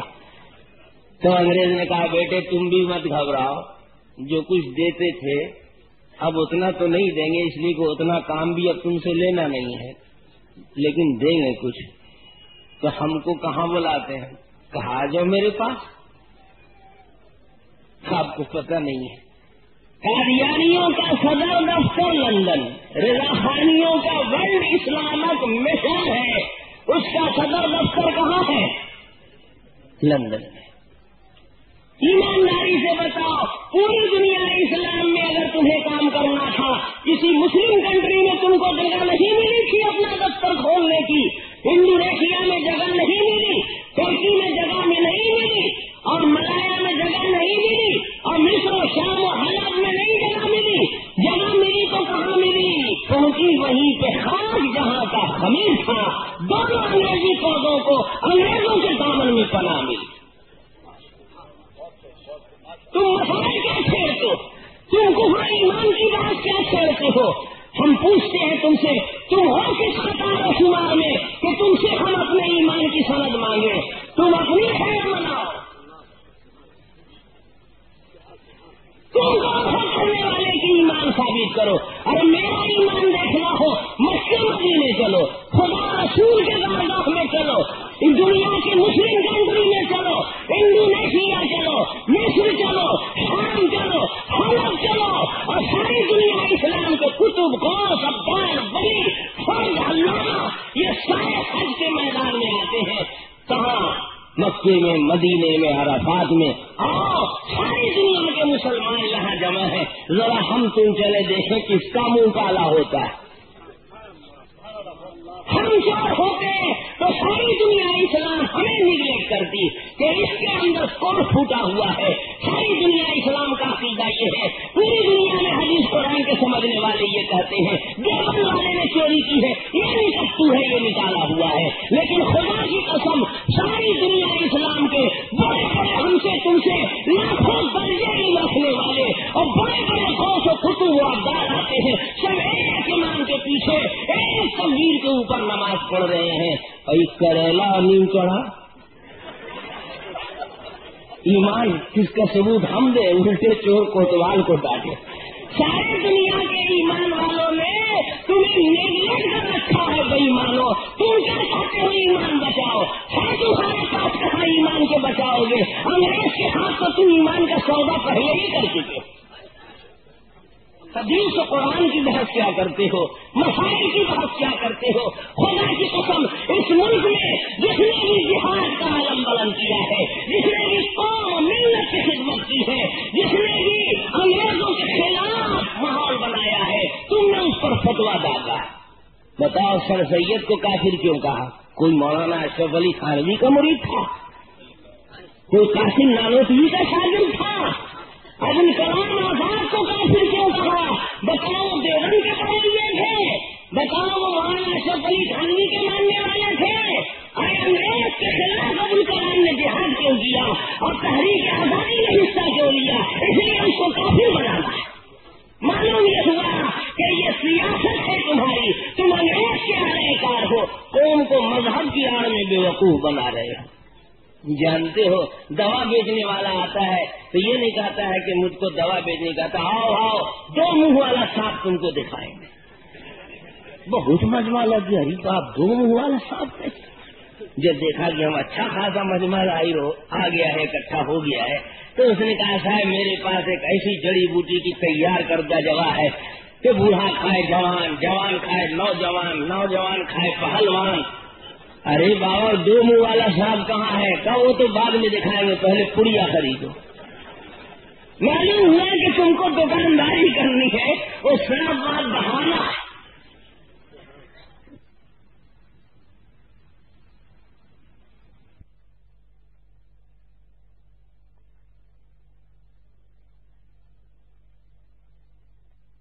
پر علماء حق کی خدمات کے روشنی میں آج تبلیغی جماعت کے جو فیض کے حاصل کرنے والے چالیس لاکھ کی تعداد میں جمع ہو گئے۔ آنکھیں پھٹی کی پھٹی رہ گئی۔ خدا کی قسم، جو دیوبندی مسئلہ کا نہیں تھا، وہی ماننے پر مجبور ہوا کہ حق کا راستہ یہ ہے۔ ہمارے سکون کی زندگی یہ ہے۔ سیرت مصطفیٰ کا راستہ یہ ہے۔ یہ ہے اللہ کے رسول کے عاشقوں کا طریقہ۔ تو تم کو تم نے دیکھا غریب بات سارے دکان کے گاہک تو ادھر جا رہے ہیں۔ ابھی دکان ہماری کیسے چلے گی؟ پیسے بدل رہے ہو۔ اجتماع نہیں ہوا تھا تو رو رہے تھے۔ جانا مت، باندرا جاؤ گے بندر ہو جاؤ۔ خدا کی قسم، جتنے باندرا گئے، سب سور گئے۔ اور جو نہیں گئے، بیچارے بندر بن گئے۔ اب اندر ناچ رہا ہے ڈگ ڈگی بجا رہا ہے۔ حق کے اندر مقناطیسی صلاحیت ہوتی ہے۔ حق کو ضرورت نہیں طاقت استعمال کرنے کی۔ حق تو مقناطیس ہے، لوہا جہاں آئے گا، اس کی زد میں کھینچ ہی جائے گا۔ خدا کی قسم، حق میں کھینچنے کی صلاحیت ہے۔ بڑا سے بڑا جن سنگی ہو آر ایس ایس کا ہو شیو سینا کا ہو، ماننا پڑے گا کہ امن اور چین اور آفیت کی زندگی اور شانتی کا راستہ ہے۔ تو یہی راستہ ہے جو رسول اللہ کے متوالوں کا، سیرت مصطفیٰ کے دیوانوں کا اور سنت و تحریک سلاد کے مستانوں کا راستہ۔ تب تم نے دیکھا کہ وہ روکا، لیکن میرا بریک تو فیل ہو گیا۔ اب جب بریک فیل ہو گیا بیچاروں کا، تو اب ماتھا فیل ہو رہا ہے۔ اب چیخ، پکار۔ ہاں ہاں کہوں کہوں چیلنج بات اتنا لاکھ دیں گے، اتنا کروڑ دیں گے۔ اچھا۔ نبی سے زیادہ حق لے کر آئے ہیں۔ اللہ کے رسول نے کبھی چیلنج نہیں کیا تھا۔ اے ابو جہل، اے ابو لہب، آؤ دیکھ لے، حق مان لے۔ اور چیلنج کرتا ہوں میں ایک کروڑ روپے کا انعام۔ نبی نے اپنی حقانیت کے لیے کوئی انعام رکھا؟ خدا کی قسم، سنت کے دشمنوں کی ہر ادا میں بھی دت ہوتی ہے۔ نبی کے سیرت کی مخالفت ہوتی ہے۔ اتنا بڑا اجتماع ہوا کروڑ کا انعام رکھا گیا تھا؟ میرا انعام کے حق کی طرف لاکھوں لاکھ کی تعداد میں پروانہ بار لوگ چلے آ رہے ہیں۔ حق خوب کھینچتا ہے، دھکے دے کر نہیں لایا جاتا ہے۔ خدا کی قسم تم بریک لگاتے رہے، محنتیں کرتے رہے، منفی انداز میں لوگوں کو روکتے رہے۔ ہم نے زبردستی کسی کو نہیں بلایا، لیکن حق کا ہم نے میلہ لگایا، حق کا ہم نے اجتماع کیا۔ خدا کی قسم مقناطیس نے کھینچا انسانی قلوب کو، جس کے دل میں ذرا بھر ایمان کی طلب ہے، جس میں ذرا بھر اللہ کے رسول کا عشق تھا۔ وہ اگر خلوص کے ساتھ نہیں گیا تو تماشائی بن کر گیا، لیکن وہاں سے متاثر ہو کر آیا، اثر لے کر آیا۔ اب تمہاری کوشش ہے کہ تبلیغی اجتماع کے اثر کو ضائع کیسے کریں؟ اب کچھ نہیں ہے بیچارے کے پاس۔ تو جان رہے ہاتھی جا رہا ہے۔ اب کتا بھوک رہا ہے۔ کتے کے بھوکنے سے ہاتھی کو کیا فرق پڑتا ہے؟ سوچو۔ خدا کی قسم بمبئی والوں یہ بھوکتے رہیں اور تم اگر ایک سال کے بعد پھر استعمال کرو، میں چیلنج کے ساتھ کہوں گا کہ انشاءاللہ چالیس گنا اسی لاکھ اب کے دیکھو گے۔ کتے بھوکتے رہیں یہ ہاتھی گزرتا رہے گا۔ حق میں اللہ نے کشش رکھی۔ کسی ڈنڈے کی ضرورت نہیں، کسی سیاسی طاقت کی ضرورت نہیں، کسی حکومت و اقتدار کی ضرورت نہیں۔ کسی مولوی صاحب کے چیلنج کی ضرورت ہے، یہ سب چیلنج سوچیے جی ہاں، نہ خنجر اٹھیں گے، نہ تلوار ان سے۔ یہ بازو میرے آزمائے۔ سو سونار کی، ایک لوہار کی۔ میں ایک ہی بات عرض کر دوں، بہت ساری باتوں کو چھوڑ کر صرف ایک بات۔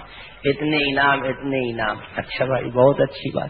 وہ سارے انعام کسی سالس کے پاس جمع کر دو۔ ایسے آدمی کے پاس جمع کرو جو دیوبندی بھی نہ ہو اور رضا خانی بھی نہ ہو۔ اس کے پاس جمع کر دو۔ اور اس کو حکم مان لو۔ جو نہ دیوبندی ہو، نہ بریلوی ہو، اس کو حکم مان لو۔ اور جن جن کتابوں کا تم حوالہ دیتے ہو، وہ کتابیں اکٹھا کر دی جائیں اور جو جو اس کا غلط تم مانا بیان کرتے ہو، ساری بکراتی بگھار لو وہاں۔ اور جو اس کا مطلب ہم بیان کرتے ہیں، ہم کو بھی موقع دے دو۔ ہم اپنی بات سنا دیں جج کو، تم اپنی بات سنا دو، کتاب ہاتھ میں دے دو۔ بولو اس کے ججمنٹ پر راضی ہو۔ خدا کی قسم، قیامت تو آ سکتی ہے بمبئی میں، لیکن وہ دن کبھی نہیں آئے گا کہ کسی سازش اور حکم کے فیصلے پر یہ راضی ہو جائے۔ کہیں گے تو کیا کہیں گے؟ عوام خود سمجھ لے گی۔ اچھا جب عوام ہی اتنی سمجھدار ہے اور اسی کو حق سے پہنچتا ہے حدیث قرآن سمجھ لینے کا، تو آپ کہے کے لیے اتنا پریشان ہو رہے ہیں؟ دنیا میں کوئی عدالت نہیں ایسی ہے کہ دو بحث وکیل، دو وکیل بحث کریں، اور بجائے جج کے اور حاکم کے یہ کہا جائے کہ جتنے حاضرین ہیں آئے ہوئے، وہی فیصلہ دے دیں گے۔ کھوپڑا خراب، عقل سے پیدل، علم سے مادر ذات، یتیموں کا قافلہ ہے یہ۔ ان کو اتنی بھی خبر نہیں ہے کہ شرعی طور پر بھی، عقلی طور پر بھی، دنیاوی قانون میں بھی کہیں ایک طرفہ سن کر ججمنٹ دیا جاتا ہے۔ خدا کی قسم، کتنوں ہی زبردست مقدمہ ہو، تو بھی مدعی کی بات کے ساتھ مدالے کی بھی سنی جاتی، نہیں سنی جاتی۔ اللہ نے کان ایک دیا ہے کہ دو دیا ہے۔ نہ بولو، ایک ہی دیا ہے، ایک ہی طرف سے سنو۔ دو دیا، دو طرف لگا دی۔ چاہتے تو دونوں ایک ہی سائڈ میں لگا دیتے۔ دو کان دیا، دو طرف دیا۔ دونوں طرف کی سنو۔ یہ سب تو مچھر پارٹی ہے۔ ہمارا تو جی نہیں چاہتا کہ مچھر سے کیا لڑا جائے۔ کیا بیچارے غریب کی اوقات ہے۔ وہ جینے کھانے کے لیے تھوڑا سا اپنا بن بنا رہا ہے، بن بنانے دو۔ ایک دن حضرت سلیمان علیہ السلاط السلام کا دربار لگا ہوا تھا۔ ایک مچھر رائے تشریف لائے۔ کہ اللہ کے پیغمبر، آپ نبی بھی ہیں، بادشاہ بھی ہیں۔ اب آپ ہی کے زمانے میں اگر ظلم، زیادتی نا انصافی ہوگی تو کہاں انصاف ملے گا؟ سلیمان علیہ السلام نے فرمایا اچھا کوئی تم پر ظلم ہوا ہے؟ کیا تم کوئی مظلوم، فریادی ہوگا جی حضور، میں بہت بڑا مظلوم ہوں۔ اور سب سے افسوس کی بات یہ ہے کہ آپ کے زمانے میں، آپ کی حکومت میں میرے اوپر ظلم ہو رہا ہے اور مجھے انصاف نہیں مل پا رہا کہا، کیا ہوا؟ کہا، دیکھیے، میں اگر کاٹتا بھی ہوں، خون بھی چوستا ہوں تو کسی جاندار کا، جس میں کچھ گوشت پوشت ہو۔ ہوا کو میں ڈنک نہیں مارتا، ہوا کا خون نہیں چوستا، اس کو کوئی تکلیف نہیں پہنچاتا۔ لیکن یہ کم وقت ہم کو چین سے کہیں نہیں رہنے دیتی ہے۔ بالکل آجز آجز کر رکھا ہے۔ نہ میرا کہیں گھر ہے نہ در ہے۔ ہوا نے ہم کو بالکل بد شہر بدر کر دیا ہے۔ کہیں ٹکنے نہیں دیتی۔ اللہ واسطے اس کا اس کو ہم سے بیر ہے۔ بے وجہ ہم کمزوروں پر ظلم ڈھاتی ہے یہ ہوا۔ بتائیے، یہ ہمارے اوپر ظلم کس جرم کی سزا میں ہے؟ کیوں یہ ہوا کر رہی ہے؟ تو کیا آپ کے زمانے میں بھی انصاف نہیں ملے گا؟ سلیمان علیہ السلام نے فرمایا کہ اچھا یہ بات ہے۔ تو آپ دعویٰ لے کر آئے ہیں، آپ مدعی ہیں، تشریف رکھیے۔ مدالے کو بلا کر پوچھتے ہیں، ایسا ظلم کیوں کرتی ہے ہوا؟ تو مچھر نے دیکھا کہ ری باپ ری باپ۔ ہوا جب تشریف لائے گی تو ہماری کیا گد بنے گی؟ تو مچھر نے کہا کہ حضور مدالے کو مت بلائیے، بھلے آپ میرا مقدمہ خارج کر دیجیے وہ ہم کو قبول ہے، لیکن مدالے کو مت بلائیے۔ جب وہ آ جائے گا، تو ہمارا تو کوئی سوال ہی پیدا نہیں ہوتا ہے کہ وہاں پر ہم سیکھ پائیں تو یہ مچھر پٹ پرچے چھاپ چھاپ کر کتابچے چھاپ چھاپ کر، گرج برس کر اسٹیج پر ناچ چھڑک کر، چیلنج دے دے کر یہ یقین دلانا چاہتے ہیں کہ ہم ہی صحیح ہیں۔ لیکن تم کو نہیں معلوم۔ دنیا کی کسی بھی عدالت میں ایک طرفہ سننے کے بعد فیصلہ ججمنٹ نہیں ملا کرتا ہے۔ بڑے سے بڑے مجرم کو بھی چانس دیا جاتا ہے۔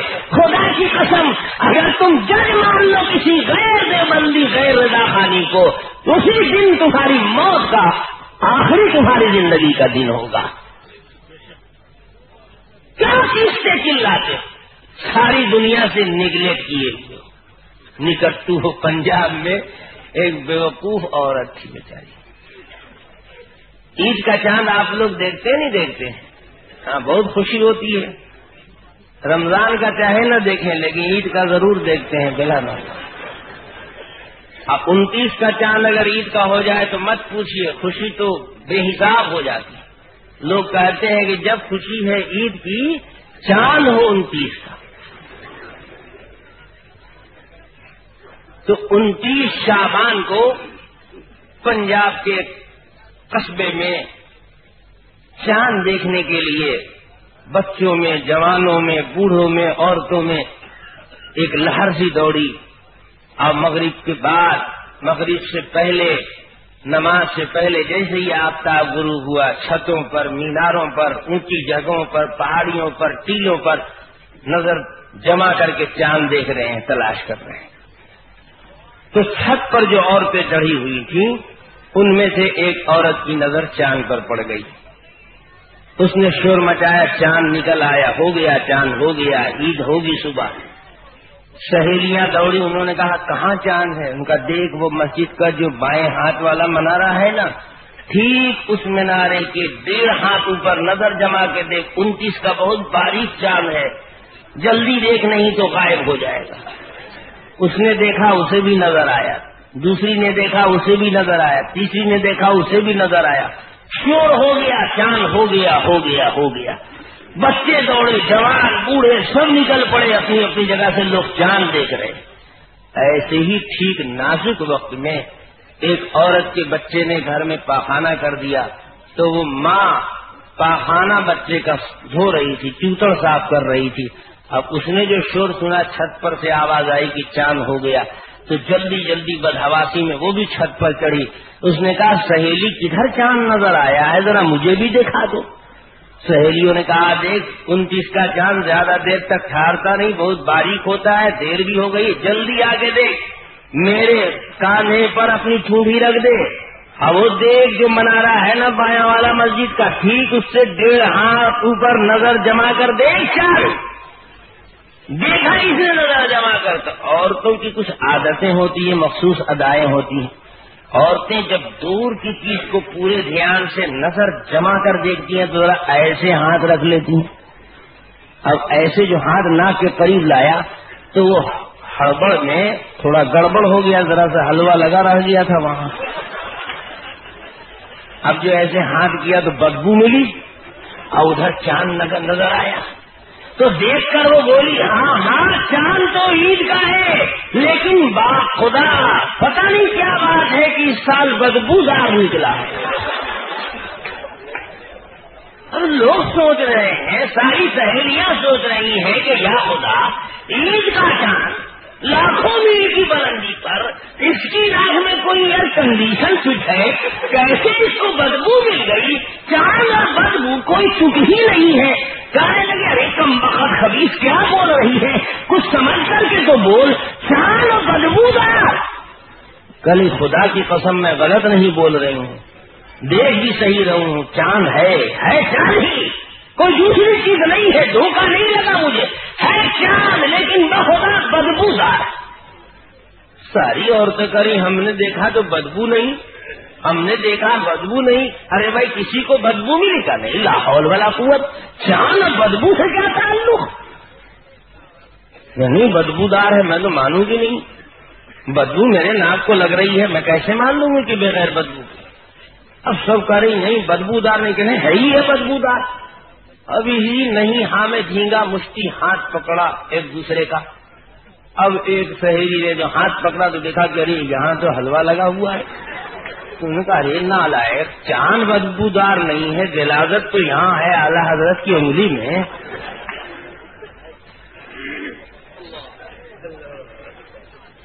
ان مائیں دیوبند بدبودار ہوتے، پوری دنیا کے افق پر چمک رہے ہیں۔ ہاں، شام والا بھی جی کہتا کہ بدبو آ رہی ہے۔ مکے مدینے والا بھی جی کہتا کہ بدبو آ رہی ہے۔ انڈونیشیا والا بھی جی کہتا کہ بدبو آ رہی ہے۔ حلب والا بھی کہتا کہ بدبو آ رہی ہے۔ فلسطین والا بھی بولتا کہ بدبو آ رہی ہے۔ لیکن بدبو آئی خدا کی قسم، جو رضا خاصی کو آئی۔ ہم کہتے ہیں ہاں، تیری انگلی چیک کرے حرم کے میدان میں آجا حرم مدینہ میں آجا حرم کعبہ میں؟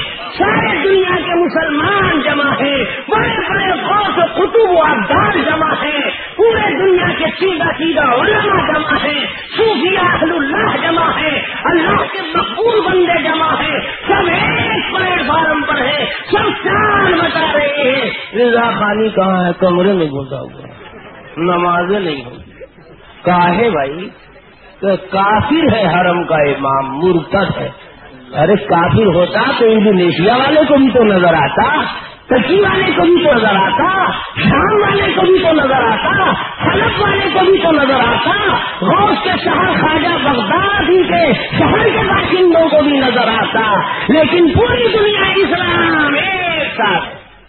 یہ نکٹو شاہ، بدبودار نظر آئے۔ تو ہم کہتے ہیں، تم ہو کس شمار میں کہ ہم تم سے خوشبو منوانے جائیں۔ صبح سے شام تک تصویر لے کر پڑھتے رہو، علماء دیون کافی رہے کافی رہے کافی رہے کافی رہے کافی رہے کافی رہے رکھتے رکھتے مر جاؤ، خدا کی قسم۔ کون تمہاری سنتا ہے؟ تم ہو کس قطار شمار میں؟ بے وقوف بنانا چاہتے ہو، ایمان ثابت کرو، بے ایمانو کون تم سے ایمان مانگ رہا ہے؟ ہمارا ایمان دنیا میں چل رہا ہے۔ دنیا مسلمان مانتی ہے۔ تم خیر مناؤ کہ تم ہمیں مسلمان نہیں مانتے ہو۔ تو تم بھی ہو مسلمان یا نہیں؟ ہو تم اپنی خیر مناؤ۔ اس لیے اس بحث میں نہ جائیے کہ ایمان یہ تو ہتھیار ہے۔ نہ لڑکا آگ کہے گا نہ سونا ہوگا۔ نہ رادھا کے نومن ہو، نہ رادھا ناچے۔ یہ پیدرا ہم خوب جانتے، ایمان ثابت کرو۔ بھلا بتائیے ہے کون کی ایمان کی بھیک ان سے مانگے؟ آئیے ہم کو مسلمان مان لیں گے تو ہم مسلمان ہو جائیں گے۔ ارے تم کو اگر ہمارا ایمان میں شبہ ہے تو ایمان کے دشمنوں سے بادشاہ برے سے پوچھو کہ ایمان کہاں تمہیں نظر آیا؟ ہمارا ایمان سفیان بھی مانتا ہے، ہمارا نمرود بھی مانتا ہے، ابو جال بھی مانتا ہے، صدیق اکبر مانتے ہیں، فاروق اعظم مانتے ہیں شاہ رسول مانتا ہے، بیت اللہ مانتا ہے حرام کعبہ مانتا ہے، دنیا اسلام ہمارے ایمان کو مانتا ہے۔ تم نہیں مانتے؟ اپنی قسمت پر ہو وہ۔ تمہارا سکہ کھوٹا ہے۔ اور اتنے ایک پیٹ کی کیا بات ہے؟ ترجمے اردو زبان میں قرآن کے بہت سے چھپے ہوئے ہیں۔ سب دیوبندی عالموں کے لکھے ہوئے تو نہیں دکتی نذیر احمد کا ترجمہ لے لو، مولانا ابوالکلام آزاد کا ترجمہ لے لو، پتا محمد جالندری کا ترجمہ ہے، کلام پاک لے لو۔ یہ لوگ دیوبند کے پڑھے ہوئے تو نہیں مولانا اشرف علی خانوی کے شاگرد تو نہیں ان کے مرید تو نہیں کسی دیوبندی عالم سے، کسی دیوبندی ادارے سے نہیں فاضل ہوئے یہ۔ سب ترجمہ رکھو۔ اور مولانا اشرف علی تھانوی کا بھی رکھو، شیخ الہند کا بھی ترجمہ رکھو، اور خان صاحب کا وہ قطر المان بھی رکھ لو۔ کاتب نے بیچارے نے ایک نقطہ ہی چھوڑ دیا تھا، وہ کنز المان چھپ گیا ہے، لیکن ہے حقیقت میں قطر المان اس کو بھی رکھو۔ سب ترجمہ ایک طرف جائے گا، اور یہ اگر چوری ہم نے کیا ہوا تھا، ہوتا تو ہم نہ نہ ملتے سب سے۔ لیکن ہم سب میں مل رہے ہیں اور تم کسی میں نہیں مل رہے۔ ہماری نماز سب کے ساتھ ہو رہی ہے، تمہاری نماز کسی کے ساتھ نہیں ہوتی۔ ہمارا ایمان ہر جگہ چل رہا ہے۔ تم بےمانو صرف کریلا اور نیچا کتاب میں لکھا ہے، مسلک، سنی مسلک یعنی مسلک اعلی حضرت۔ تو معلوم ہوا کہ سنی جو تم کو بول رہے ہو اعلی حضرت کا مسلک ہے۔ تو اعلی حضرت کا مسلک ان کے پیدا ہونے کے پہلے تو نہیں تھا۔ تو ابو بکر تو سنی نہیں تھے تمہاری اصطلاح میں۔ عمر تو سنی نہیں تھے، مسلک اعلی حضرت سے پہلے گزر گئے۔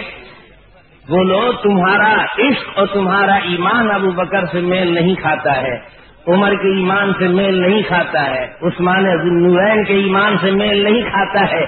سیدنا علی کے میں ایمان سے میل نہیں کھاتا ہے، حضرات حسنین کے ایمان سے میل نہیں کھاتا ہے، خواجہ اجمیری کے ایمان سے میل نہیں کھاتا ہے، خواجہ بغداد کے ایمان سے میل نہیں کھاتا ہے صابل کلیری کے ایمان سے میل نہیں کھاتا ہے، محبوب الہی کے ایمان سے میل نہیں کھاتا ہے۔ اس لیے کہ یہ سب مسلک کے اعلیٰ حضرت کے پہلے جا چکے ہیں۔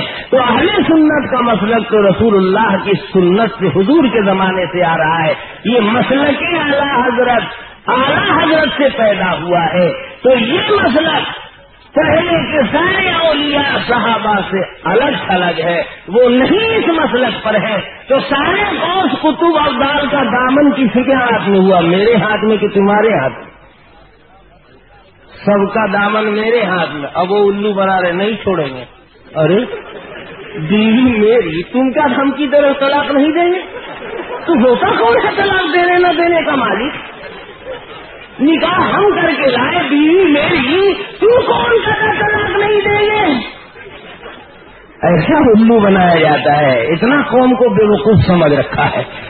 خدا کی قسم علماء دیوبند کا جو مسلک ہے وہ فاروق اعظم کا مسلک تھا وہ صدیق اکبر کا مسلک تھا عثمان غنی کا مسلک تھا سلمان فارسی کا مسلک تھا ابو غفاری کا مسلک تھا سیدنا عثمان کا مسلک تھا سیدنا حسن حسین کا مسلک تھا صدیقہ عائشہ کا مسلک تھا محاطم مومنین کا مسلک تھا صحابہ صابرین کا مسلک تھا مستحدین کا مسلک تھا اور یہ کامرین کا مسلک تھا تو سب کا دامن ہمارے ہاتھ میں اور یہ کہتے نہیں چھوڑیں۔ گے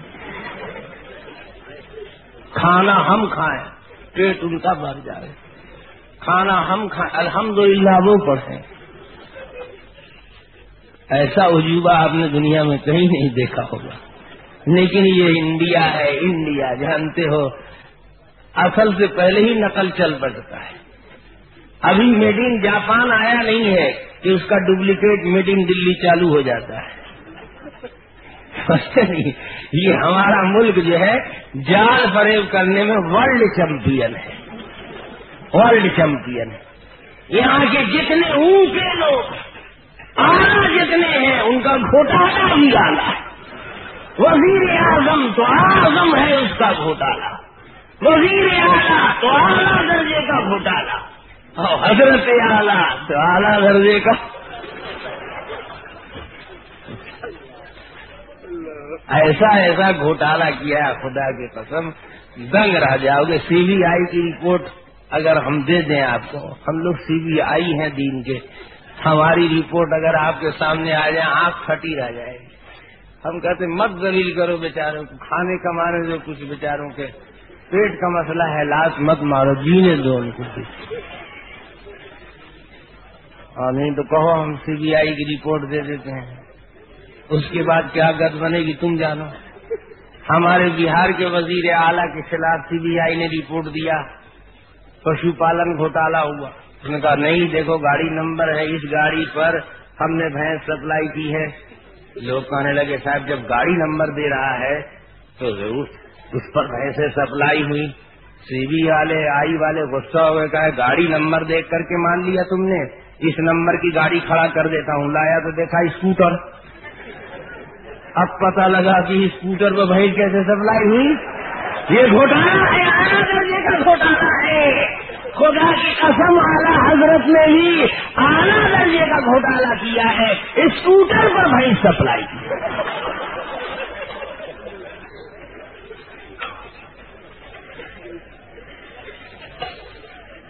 آپ کو میں بہت سنجیدگی سے ہنسنے کی بات نہیں، بالکل سنجیدگی سے غور کرنے کی بات۔ اس میں ہم میں بہت سے لوگ ہمارے ہمارے والد کی عمر کے ہوں گے۔ بہت سے لوگ کافی سنجیدہ عمر دراز، سب بچے نوجوان نہیں۔ جذبات میں نہ آئیے۔ ہنسیے مت، سنجیدگی سے بات کو سمجھیے۔ دیکھو، کوئی مسلمان ایسا ہے جس کو رسول پاک سے اس پر محبت نہ ہو۔ خدا کی قسم ہم کہتے ہیں کہ جس کے دل میں نبی کا عشق نہ ہو اور سرور کائنات کی عقیدت اور عظمت نہ ہو، وہ صحیح مسلمان نہیں۔ ہر مسلمان کے دل میں عظمت ہے، اللہ کے رسول کی ہونی چاہیے۔ یہی ایمان کی علامت ہے، یہی مومن کی شان ہے۔ اور نبی پر درود پڑھنا ہر صاحب ایمان کا تقاضا ہے، ایمانی تقاضا ہے۔ شری حکم ہے، درود سلام اللہ کے رسول صلی اللہ علیہ وسلم پر پڑھا جائے خدا کا حکم آیا ان اللہ ملائی کا تہو نبی صلو علیہ وسلم تسلیما اللہ اس کے فرشتے رحمت بھیجتے ہیں۔ تم بھی ایمان والو نبی پر درود پڑھو، سلام پڑھو۔ حکم آیا۔ اللہ پاک نے اپنی ہر نماز میں درود رکھا، سلام رکھا۔ کوئی بھی نماز فرض نماز ہو تو بلا درود کے پڑھو گے۔ اب بغیر سلام سلام تو پہلے ہی سے درود بلکہ بعد میں شریک کیا گیا۔ السلام علیکم نبی و رحمت اللہ وبرکاتہ۔ پڑھتے نہیں پڑھتے تحیات میں سلام ہے کہ نہیں؟ السلام علیکم نبی یا نبی، سلام علیک۔ دونوں کا ایک معنی۔ السلام علیکم نبی و رحمت اللہ وبرکاتہ۔ تحیات پہلے سے نماز میں پڑھی جا رہی تھی۔ درود کے بغیر نماز میراج سے اللہ کے رسول لائے تھے۔ سروری کائنات جناب محمد الرسول اللہ علیہ وسلم جب معراج میں تشریف دے گئے، تو اللہ کے حبیب صلی اللہ علیہ وسلم کو اللہ کی طرف سے توحبہ دیا گیا۔ کہ اے میرے حبیب، آپ کو تو معراج حقیقی ہم نے دے دیا۔ آپ کی امت کے لیے معراج جسمانی ہے، روحانی ہے۔ وہ جسمانی طور پر تو ہمارے قریب نہیں آئیں گے۔ ان کو آج پر تو نہیں آئیں گے، لائیں گے۔ لیکن اگر وہ میرے سامنے کھڑے ہو جائے دس بستہ، ہم ان کے پاس آ جائیں گے، ہماری ان کی ہو جائے گی۔ تو نماز میراج اصلا تو میراج المومنی نماز کا تحفہ، امت کو روحانی میراج۔ تو نماز جو لے کر اللہ کے رسول میراج سے آئے تھے، اس میں صرف تحیات کی درود نہیں تھا۔ السلام علیکم یہ نبی سلام تھا، لیکن درود نہیں تھا۔ جب یہ آیت نازل ہوئی، ان اللہ و ملائی کا تہو یہ سلو نبی یا منو سلو علیہ وسلم تسلیما۔ تفسیر کی کتابوں کو اٹھا کر دیکھو۔ مفسرین کا اجماع ہے، فرماتے ہیں کہ اس آیت کے نازل ہونے کے بعد صحابہ نے رسول اللہ سے سوال کیا، یا رسول اللہ السلام علیہ ولیکن کیف نصلی علیہ اے اللہ کے رسول آیت میں دو چیز کا حکم ہے، درود پڑھنے کا اور سلام پڑھنے کا۔ تو قد علی السلام علیہ سلام تو ہم پہلے سے پڑھتے آ رہے ہیں، وہ تو ہمیں معلوم ہے۔ لیکن درود پڑھنے کا حکم اب آیا ہے، تو کیسا نسلی علیہ درود آپ پر کیسے پڑھیں؟ وہ بھی تو آپ ہی بتائیں گے۔ سمجھے آپ نہیں سمجھے؟ درود نماز میں شامل ہوا اس آیت کے نازل ہونے کے بعد۔ اور سلام میراج کے وقت ہی سے نماز میں تھی۔ تحیات میراج کے وقت سے تھی۔ لیکن اس آیت کے نازل ہونے سے پہلے پہلے نماز میں درود نہیں تھا۔ صحابہ نے معلوم کیا علیم السلام علیہ۔ فلاکن کئی فنسلی علیہ؟ سلام تو ہمیں معلوم ہے، آپ نے پہلے سے سکھا رکھا ہے، ہم سلام پڑھتے ہی ہیں نماز میں۔ اب درود کا حکم آیا ہے تو وہ بھی آپ بتائیے درود کیسے پڑھے تو اللہ اپنے نبی کے لیے جو درود رکھے گا، وہ ٹھٹ classy first class A one world champion درود تو اللہ کے رسول نے سب سے سینئر درود سب سے افضل درود صحابہ کو سکھایا. اور فرمایا کہ درود اس طرح پڑھو. اللہ صلی علی محمد وعلى آل محمد كما صليت على إبراهيم وعلى آل إبراهيم إنك حميد مجيد اللهم بارك على محمد وعلى آل محمد. كما باركت على إبراهيم وعلى آل إبراهيم إنك حميد مجيد۔ اب صحابہ نے درود بھی پڑھنا شروع کیا۔ تو کوئی نماز ایسی نہیں ہے جس میں درود نہ ہو، سلام۔ نہ فرض نماز ہو تو بھی درود سلام۔ بیتل بازی ہو جب بھی درود سلام۔ سنت موقع ہو جب بھی درود سلام۔ اور سنت غیر موقع ہو، مستحب، نفل ہو تب بھی درود سلام۔ کوئی نماز بغیر درود سلام کی ہے اور درود و سلام بھی اے ون رکھا ہے اللہ نے۔ کسی بھی عالم مفتی سے پوچھ لو، سارے درودوں میں سب سے افضل درود کون ہے؟ درود ابراہیمی جو نماز میں پڑھا جاتا ہے۔ اس لیے کہ اللہ کے حکم سے اللہ کے رسول نے یہ درود صحابہ کو سکھایا ہے۔ تو یہ میڈین عرش ہے میڈین مدینہ۔ ہے بولو، درود اور سلام جو اللہ کا بتایا ہوا ہو، رسول اللہ کا سکھایا ہوا ہو، صحابہ کے عمل میں ہو، وہ اردو میں ہوگا کہ بنگلہ میں ہوگا اڑیا میں نہ ہوگا، مراٹھا میں ہوگا نا؟ بولو۔ ہاں؟ آج ہی ایک کتاب ملی ہے کہ رسول اللہ ہر زبان جانتے تھے کیونکہ ساری دنیا کی طرف بھیجے گئے۔ تو ہم مراٹھا والوں کا رسول اللہ نے کوئی خیال نہیں کیا، دو چار سو درود کم سے کم مراٹھا میں بتا دیتے۔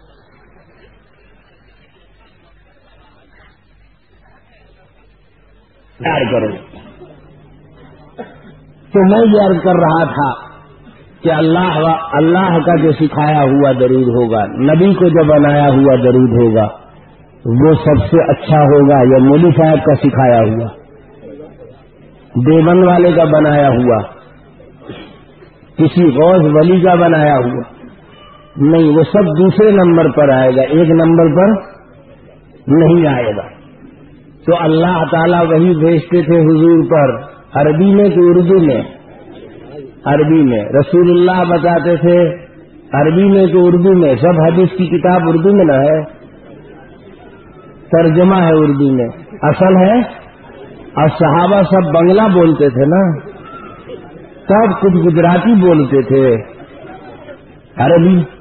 تو نبی کا بنایا ہوا ضرور عربی میں ہوگا۔ صحابہ کا استعمال کیا ہوا ضرور تو میڈ ان عرش میڈ ان مدینہ میں درود ہوگا، وہ عربی میں ہوگا۔ جو میڈ ان عرش میڈ ان مدینہ ہوگا، سلام، وہ عربی میں ہوگا۔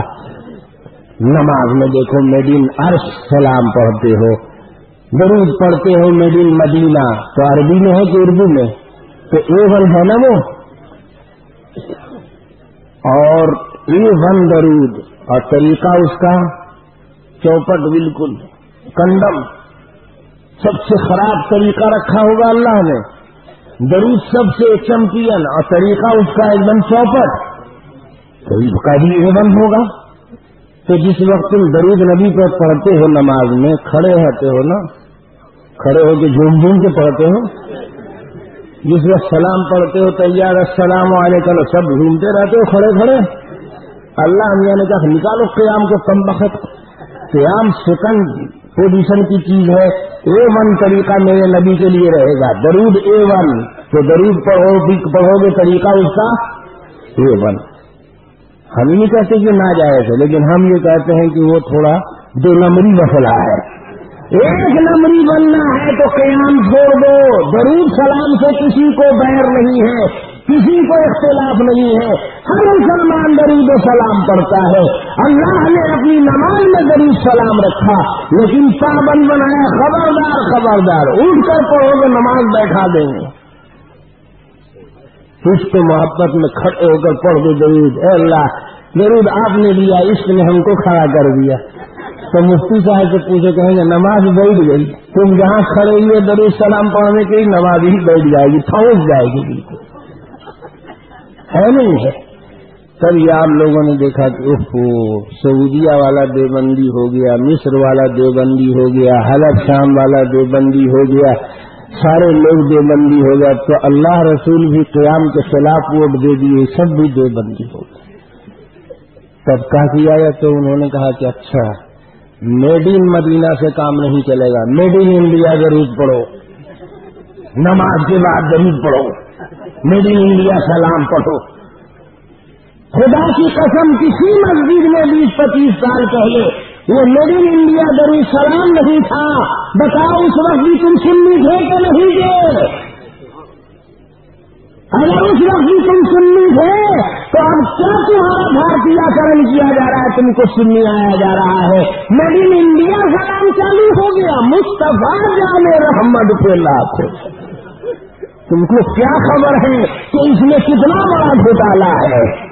خدا کی قسم سی آئی والا کہتا ہے کہ اس کا عنوان درست نہیں ہے، اس کا پتہ صحیح نہیں ہے۔ مسلمان کو الو بنایا جا رہا ہے، انڈیا کے باشندوں کو الو بنایا جا رہا ہے۔ کہ یہ سب سرکاری کھاتے میں جا رہا ہے، لیکن نہیں، سب نرسما راؤ کے نجی کھاتے میں۔ اور لالو پرساد کے نجی کھاتے میں گیا ہے یہ۔ یہ بینک آف انڈیا میں نہیں گیا ہے۔ خدا کی قسم، یہ جو میڈ انڈیا سلام سپلائی ہو رہا ہے مسجدوں سے، یہ مدینے نہیں جا رہا ہے۔ سب اعلیٰ حضرت کے گھر جا رہا ہے؟ تو چڑیا اس پر دیکھ لو ہیڈی لگا رکھا ہے اس پر۔ مصطفیٰ جانے محمد کے لاکھوں سلام سمے بجنے رسالت کے لاکھوں سلام۔ افسوس، پڑھتے ہو، سمجھتے نہیں۔ ارے بعد میں چاہے تم جو بول رہے ہو، لیکن جب عنوان اب پتا صحیح نہیں ہے، تو بیٹے کے نام خط لکھو، بیوی کے نام خط لکھو۔ پتا نامی پرساد کا ہے تو بیٹے تک خط پہنچے گا۔ پتا نام ذمہ راؤ کا ہے تو بیوی تک خط پہنچے گا۔ نہیں جائے گا۔ یہ سارا غریب سلام کہاں جا رہا ہے؟ نریلی شریف جا رہا ہے۔ کتنے شریف لوگ ہیں۔ پاکٹ مار تھوڑی کہتا ہے کہ میں آ رہا ہوں پاکٹ مارنے وہ تو ایسا معصوم بن کر سکے گا، معلوم ہوگا اس سے زیادہ کوئی بلی ہی نہیں ہوگا اس کرتے مستفا جانے رحمت تو کیا سمجھے تم بیوقوف سیدھا سادہ مسلمان سمجھتا ہے کہ مصطفیٰ کا مطلب ہوا احمد مصطفیٰ محمد مصطفیٰ صلی اللہ علیہ مدینے والے مصطفیٰ۔ جی نہیں، اس غلط فہمی مت رہیے گا۔ یہ مصطفیٰ رضا جو ان کے بیٹے ہیں ادھر سپلائی ہو رہا ہے۔ ان کے صاحبزادے کا نام کیا تھا؟ مصطفیٰ رضا۔ اور قاعدہ ہے کہ جب نام مرکب ہو، دو لفظوں سے مل کر بنا ہو، تو ایجاد، اختصار اور کثرت استعمال کا تقاضا ہے کہ ایک پر اتفاق کر لیا جائے۔ کسی کا نام عبد الرحیم ہے تو بار بار عبد الرحیم کتنا پکارے گے؟ اے عبد الرحیم تو اے رحیم کا مطلب اے عبد الرحیم ہی ہوا. مذاق کو حذف کر دیا گیا. اختصار کے پیش نظر ایک کلمے کو چھوڑ دیا جاتا ہے. مصطفیٰ رضا نام تھا، رضا چھوڑ دیا، صرف مصطفیٰ بولا. چالاکی سے، تاکہ عام پبلک نہ سمجھے کہ کدھر سپلائی ہو رہا ہے. کھینچنا تو عام مسلمانوں سے ہے نا؟ تو اس کو گھپلا نہیں دیں گے۔ کوئی نمبر تو گاڑی کا دینا پڑے گا نا۔ گاڑی نمبر دے دیا۔ اب بالکل سمجھ جب گاڑی نمبر دیا ہے تو پشو پالن گھوٹالا نہیں ہوا، سپلائی ہوا ہے۔ سیدھی وائی آئی والے نے کہا، ارے بے وقوف، یہ دیکھ اسکوٹر کا نمبر ہے۔ میں طاہر حسین کہتا ہوں کہ یہ اسکوٹر ہے۔ یہ پتا غلط ہے، یہ سپلائی ادھر نہیں ہو رہا، ادھر جا رہا ہے۔ دلیل چاہیے آپ کو، دلیل بھی دوں گا۔ بے دلیل کی بات نہیں کرتا، بے فرق نہیں اڑاتا۔ جو بولتا ہوں ڈاکومنٹری پروف کے ساتھ، دستاویزی ثبوت کے ساتھ، مصطفیٰ کے معنی یہاں پر مصطفیٰ رضا ہے۔ یہ شاعر تھے نا، خان صاحب بڑے چالاک، چار سو بیس نمبر ان کا۔ ہم لوگوں کے چوبیس نمبر۔ ان کا کتنا ہے؟ ہم لوگ کلمے والے لوگ ہیں۔ کلمہ طیبہ، لا الہ الا اللہ، محمد الرسول اللہ میں کتنے حرف؟ چوبیس تو ہم کلمے والے ہیں، چوبیس نمبر۔ اور ان کے اوپر لکھ دیجیے ایک چار سو بیس نمبر دیکھیے کیسے پاجامے سے باہر ہو جاتا یہ چار سو بیس ہی کی انہوں نے۔ شاعر کا کلام سمجھنے کے لیے اس کے دوسرے کلام سے استدلال ہوتا ہے۔ یہ مصطفیٰ بولتے ہیں تو ہمیشہ رسول اللہ کو نہیں بولتے ہیں۔ کبھی کبھی اپنے بیٹے کو ہی بول دیتے ہیں۔ جیسے یہاں بول دیا۔ دلیل چاہیے تو دلیل بھی لے لو میرے پاس۔ دلیل موجود ہے۔ ایک کتاب ہے الملفوظ، چار حصوں میں۔ احمد رضا خان صاحب کے فرمودات کا، ارشادات کا، کلمات کا، ملفوظات کا مجموعہ۔ تو پہلا حصہ بھی اس کا جب تیار ہو گیا، مصطفیٰ رضا خان ان کے بیٹے نے اس کو قلم بند کیا۔ تو پہلے حصے کی مقدار جب جمع ہو گئے ملفوظات، تو ابا جان کی خدمت میں انہوں نے پیش کیا کہ حضور آپ کے ارشادات فرمودات ہم نے جمع کیے ہیں۔ آپ ذرا اسے دیکھ لیجیے ایک نظر۔ اگر کہیں پر حق کو فق کرنا ہو، اضافہ کرنا ہو، نکالنا ہو تصویر کرنی ہو، کچھ ترمیم کرنی ہو، تو وہ کر لیجیے تاکہ اس کو ہم پریس میں دے دیں اور اس کو شائع کر دیں۔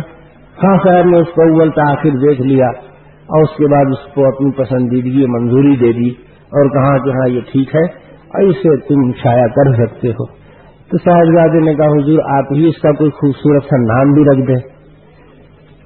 تو ابا جان نے بکراتی میں ہر جگہ بگھارتے ہیں نا، بکراتی دکھاتے ہیں۔ تو اس کتاب کا نام رکھا ہے دو شیر کے اندر۔ وہ نام ان کا رکھا ہوا وہ شیر دونوں اشار الملفوظ کے آخری پیج پر لکھے ہوئے ہیں۔ انہوں نے لکھا ہے میرے ملفوظ، کچھ کیے محفوظ۔ میرے ارشادات کو، فرمودات کو کچھ محفوظ کیا۔ کس نے میرے بیٹے مصطفیٰ رضا نے؟ میرے بیٹے مصطفیٰ رضا نے میرے ملفوظات کو کیوں مرتب کیا، جمع کیا، محفوظ کیا؟ میرے ملفوظ کچھ کیے محفوظ، مصطفیٰ مصطفیٰ کو ہے ملحوظ۔ اس لیے کہ میری باتوں میں تو محمد الرسول اللہ، محمد مصطفیٰ ہی کا ذکر چرچا ہوتا ہے انہیں کی بات ہوتی ہے۔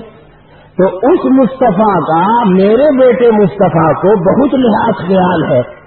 اسی لیے میرے ملفوظ انہوں نے محفوظ کر لیے۔ میرے ملفوظ کچھ کیے محفوظ؟ مصطفیٰ مصطفیٰ کو ہے ملحوظ۔ دیکھو، چور پکڑ لیا گیا۔ دو جگہ یہاں پر لفظ مصطفیٰ آیا ہے۔ مصطفیٰ مصطفیٰ کو ہے ملوث تو ایک جگہ مصطفیٰ سے مراد مصطفیٰ رضا ہے۔ بریلی والا مصطفیٰ۔ اور ایک جگہ مصطفیٰ سے مراد مدینے والے مصطفیٰ۔ پتا یہ چلا کہ اس شاعر کی عادت ہے گھپلا مارنے کی۔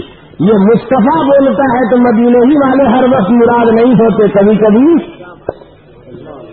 ادھر بھی ہو جاتا ہے اشارہ گھوٹالا ہے نا کبھی اسکوٹر ہی پر بائک سپلائی کرتا۔ ہے میرے ملفوظ کچھ کیے محفوظ، مصطفیٰ مصطفیٰ کو ہے ملحوظ۔ نام تاریخی اس کا رکھتا ہوں زبر بئی نام الملفوظ۔ تاریخی نام لکھا انہوں نے کہ اس کا تاریخی نام کتاب کا کیا رکھتا ہوں؟ الملفوظ۔ الملفوظ کے نام سے یہ چار حصوں میں شائع ہوئی کتاب۔ اس سے قطع نظر کہ جو تاریخ انہوں نے الملفوظ کے لفظ سے نکالنی چاہیے ہے، وہ تاریخ اس سے نکلتی نہیں ہے ابجد کے قاعدے سے یہ بھی اعلی حضرت نے غلطی ہی کی ہے۔ ٹھوکر ہی کھائی ہے اس میں لیکن وہ تو ایک الگ بات ہے۔ اس وقت تو مجھے یہ عرض کرنا تھا کہ ان کی عادت ہے کہ مصطفیٰ بولتے ہیں تو کیا مراد لیتے ہیں؟ مصطفیٰ رضا بریلی والے صاحب زیادہ محترم۔ اب آپ کہیں گے صاحب، لیکن یہ بھی تو ہے کہ مصطفیٰ بولتے ہیں تو مدینے والے کو بھی مراد لیتے ہیں۔ تو کیسے کلیئر ہوگا؟ کہ یہاں پر کون والے مصطفیٰ مراد ہیں؟ ہو سکتا ہے کہ مدینے ہی والے مصطفیٰ ہو مراد، جیسے یہ بھی ہو سکتا ہے کہ بریلی والے مراد ہوں، تو ہم کہیں گے نہیں نہیں، مدینے والے تو ہو ہی نہیں سکتے مراد۔ کلیئر اسکوٹر کا اس میں نمبر دیا ہوا ہے۔ اس کے سوچ پر جائے گی۔ مدینے والے مصطفیٰ نہیں ہیں اس میں، بریلی والے مصطفیٰ کلیئر ہیں۔ تھوڑا سا ہاشیا بین ستور پڑھو۔ مصطفیٰ کے بعد آگے لفظ کیا ہے؟ جان رحمت پہ لاکھوں سکا ہے نا؟ ہاں ماشاء اللہ سمجھ گئے ہوں گے آپ۔ سمجھ گئے نا؟ ابھی خدا کی قسم نہیں سمجھے لیکن ہم تو سمجھا کے جائیں گے۔ اچھا آپ لوگ بھی تو کسی ماہی کے نور نظر لگتے دیگر ہوں گے۔ ہماری ماں بہنوں کا انڈین عورتوں کا ایک مزاج ہے ہمارے یو پی بہار میں خصوصیت سے۔ اور بمبئی مہاراشٹر میں بھی ہوگا۔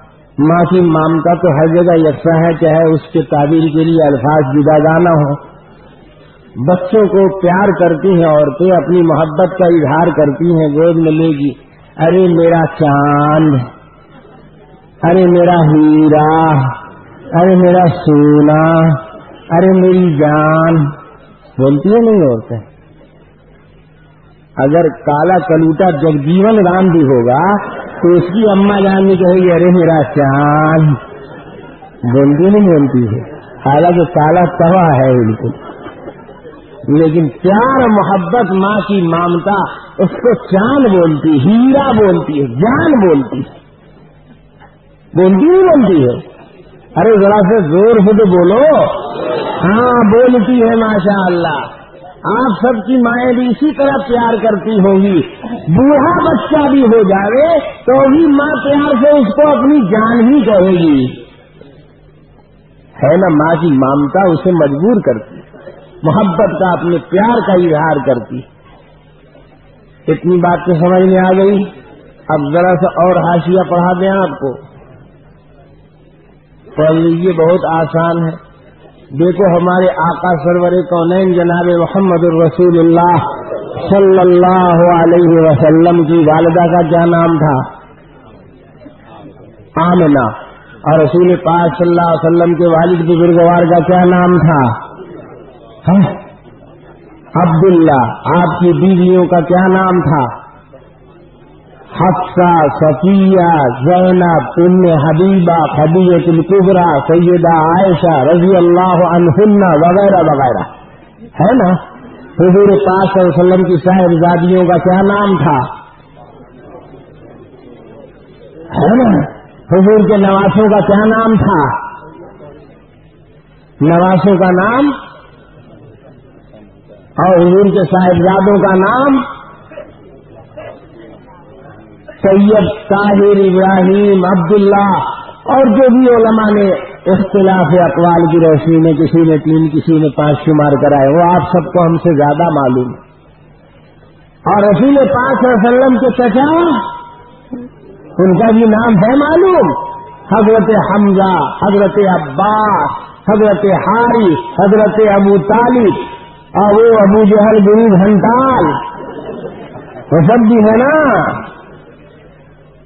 اچھے ایمانداری سے بتاؤ، ہمارے آقا سرور دو جہاں صلی اللہ علیہ وسلم کے والد تھے کہ نہیں تھے؟ اور آپ کی والدہ تھی کہ نہیں تھی؟ اور آپ کے نواسے تھے کہ نہیں تھے؟ اور آپ کی بیویاں تھی کہ نہیں تھی؟ اللہ کے حبیب، ہمارے آقا جناب محمد الرسول اللہ صلی اللہ علیہ وسلم عبداللہ کے نور نظر تھے آمنا کے لفتے جگر تھے، سیدہ عائشہ کے سرتاج تھے حضرت حسن و حسین کے نانا جان تھے تھے نہیں تھے۔ اچھا ماشاء اللہ کیا بول رہے ہو؟ کچھ سوچ سمجھ بھی رہے ہو؟ عجیب حال ہے آپ۔ رٹ اکٹ نکلے چلے جا رہے شہ برات کا حلوہ ہے۔ جب بدہضمی ہوگی تو پتہ لگے گا کہ کیا ہو گیا۔ ہمارے نبی کے والد تھے۔ والدہ تھی، بیویاں تھیں چچا تھے، نواسے تھے، بیٹیاں تھیں، بیٹے تھے۔ ہے نا؟ تو میرے آقا صلی اللہ علیہ وسلم انسان تھے، بشر تھے۔ جو مخلوق نور سے بنتی ہے، اس کے باپ نہیں ہوتے۔ اس کی بیویاں نہیں ہوتی۔ اس کے چچا نہیں ہوتے۔ اس کے ناتی نواسے نہیں ہوتے ہیں۔ اس کی اولاد نسل نہیں ہوتی ہے۔ اس کا کنبا قبیلہ نہیں ہوتا۔ بتاؤ جبرائیل امین نور سے بنائے گئے ان کے والد صاحب کا نام کہاں کچھ ہے معلوم؟ نہیں معلوم ہے تو بریلی شریف سے پوچھ کے بتا دینا۔ والدہ کا نام؟ جس کا کنبا ہوتا ہے، خاندان ہوتا ہے، نسل چلتی ہے، اولاد ہوتی ہے سوال تراثل ہوتا ہے، وہ نوری مخلوق نہیں ہوتی ہے، نور میں نسل نہیں چلتی ہے تعلق سراسل نہیں چلتا ہے۔ خدا کے کام فرشتوں میں کنبا قبیلہ نہیں ہے۔ نہ کوئی فرشتہ انسانی ہے، نہ کوئی مہاجر ہے، نہ بنو حاکم سے ہے، نہ بنو امیہ سے ہے، نہ کوئی مرد ہے، نہ کوئی عورت ہے، نہ کسی کے بیوی ہے، نہ نواسے ہے، جو نبی کو نور مانتا ہے، وہ حضرت عبداللہ کے نور نظر کو نبی نہیں مانتا ہے، وہ جو نبی کو نور مانتا ہے، وہ سید آمنا کے لاننے کی نبوت کا منکر ہے، جو نبی کو نور مانتا ہے، وہ سید عائشہ کے شوہر کی نبوت کا منکر ہے، جو نبی کی بشریت کا انکار کرتا ہے، وہ حسن حسین کے نانا جان کی نبوت کا منکر ہے۔ جو بشر نہیں ہوگا، وہ نبی کیسے ہو جائے گا؟ جب وضو نہ ہوگا، تو نماز کیسے ہو جائے گی؟ غیر بشر کو خدا نے نبوت دیا ہی نہیں۔ اسی لیے علماء نے فقہ اسلام نے صاف طریقے سے مسئلہ کلیئر لکھا ہے۔ جو نبی کی بشریت میں شبہ بھی کر دے، اس کا نکاح ٹوٹ جاتا ہے، وہ مرکز ہو جاتا ہے۔ اس لیے کہ اس نے جب بشریت میں شبہ کر دیا آٹومیٹک نبوت میں شبہ ہو گیا۔ جب بشر نہیں تو نبی کیسے ہوگا؟ تو میرے آقا سرور کونین جناب محمد الرسول اللہ صلی اللہ علیہ وسلم حضرت عبداللہ کے نور نظر لگتے جگر تھے، اب بیوی آمنا کی جان تھے۔ حضور صلی اللہ علیہ وسلم کس کی جان تھے؟ حضرت آمنا کی جان سے تو اگر شاعر نے مصطفیٰ سے مدینے والے مصطفیٰ کو مراد لیا ہوتا، تو جانے آمنا بولتا، یہ تو کوئی رحمت ہے، گھر میں دائی ہو، بیوی ہو، کوئی ہو، اس کی جان والے مصطفیٰ کو بول رہا ہے۔ تو پتا چلا کہ یہ گھوٹالا ہے۔ یہ میڈ ان انڈیا سلام کا پتا ہی غلط ہے، سب سپلائی کہاں ہو رہا ہے۔ بولو، اب سی بی آئی کی رپورٹ پیش کر دیا ہم نے۔ ہمارے دوست لوگوں کو بہت درد ہو رہا ہوگا۔ ہم نہیں چاہتے ہیں کہ سارے زخم کا ایک ہی دن آپریشن ہو جائے۔ دھیرے دھیرے دھیرے دھیرے تو بیچارے کا کچھ خطرہ وطرہ بھی ہو جانے کا ڈر ہے۔ لیکن میرے دوستو، خدا کی قسم میں تمہارا ہمدرد ہوں۔ میں تمہیں آج بھی ہمدردی سے کہتا ہوں ٹکٹ تمہارا غلط نہیں ہے۔ تم مسلمان ہو ٹکٹ تمہارا لا الہ الا اللہ محمد الرسول اللہ کا ہے۔ لیکن ٹرین تمہاری غلط ہے۔ بمبئی ٹو دلی تم نے لیا ہے ٹکٹ۔ دادر سے بیٹھے، تم کہاں جا رہے ہو؟ فلاں اسٹیشن سے بیٹھے کدھر جا رہے ہو اپ پر جا رہے ہو کہ ڈاؤن پر جا رہے بھی تو چیک کرو۔ دلی سے آ رہی ہے بمبے سینٹرل گاڑی۔ اور اس پر تم جا رہے ہو بمبے ٹو دلی کا ٹکٹ لے کر۔ تو بمبئی پہنچو گے کہ سینٹرل پہنچو گے سینٹرل پہنچو گے نا۔ ہم نے کہا کہ ٹکٹ تو آپ کا صحیح ہے حضور، لیکن گاڑی چینج کر لی۔ چلی گئی ہے بہت دکھا لیں ہم بھی گاڑی بجائیں گے کوئی جانے ٹکٹ ہے؟ ٹوکن میں کیا ہے۔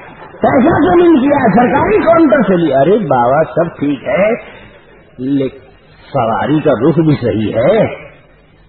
جس سواری پر سوار ہو، اس کا رخ غلط ہے۔ خدا کی قسم، بدعت کی سواری کا پلیٹ فارم جہنم ہے۔ ٹکٹ تمہارے پاس لا الہ الا اللہ محمد الرسول اللہ کا ہے، لیکن جو ٹرین بریلی سے چھوٹی ہے، اس کا پلیٹ فارم جنت نہیں ہے۔ سرکار مدینہ سے جو ٹرین چھوٹی ہے سنت والی، وہ پلیٹ فارم جنت پہ جا کر لگے گی۔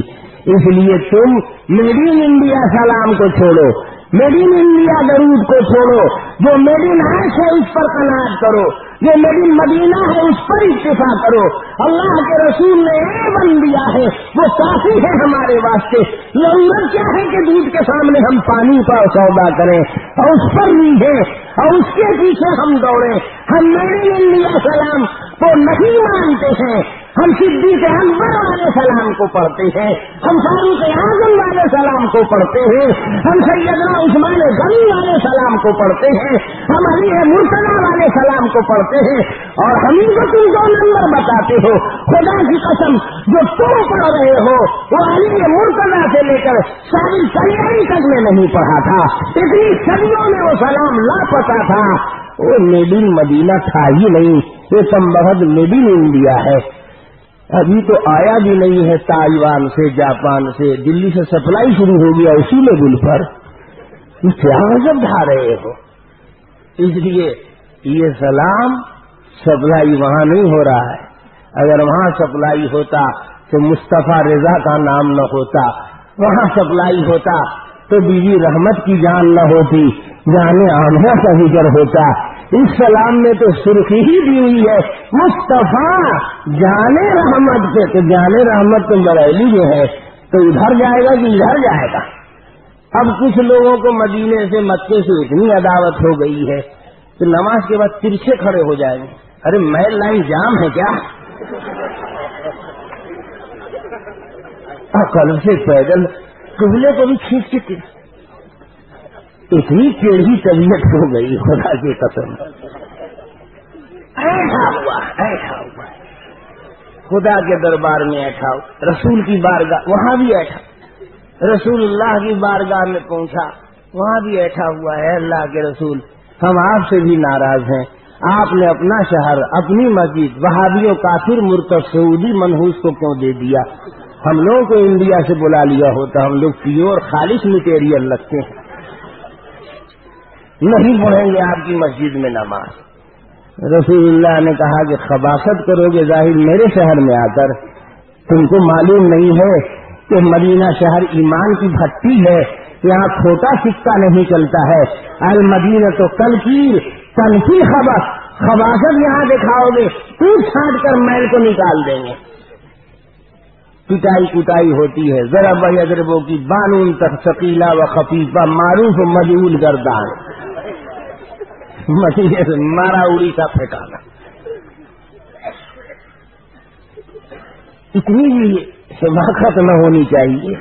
کیونکہ مختار کل ہیں، جنت و نار کی کنجیا دست اقدس میں دے دی گئی ہیں۔ جس کو چاہے جو کچھ دے دیں۔ تو انہوں نے اپنا گھر، در، سب کافی مرتد منحوس نجدی وہابی کو دے دیا۔ دشمن کو تم اپنی عورت، اپنا گھر دے دو گے۔ اپنا ملک، اپنا شہر دے دو گے۔ سچے عاشقوں کو بلا لیتے، یہ میڈ ان انڈیا سلام والوں کو لہراتے ہوئے پہنچتے، یہ مکار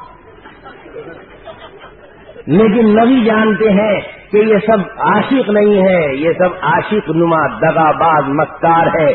یہ مجنو نہیں ہے، نقال ہے۔ مجنو جو ہوتا ہے، وہ قربانی دینا جانتا ہے، دینا جانتا ہے۔ لیکن خدا کی قسم، ان پیروں کی لغت میں صرف لینا ہے، دینا ہے۔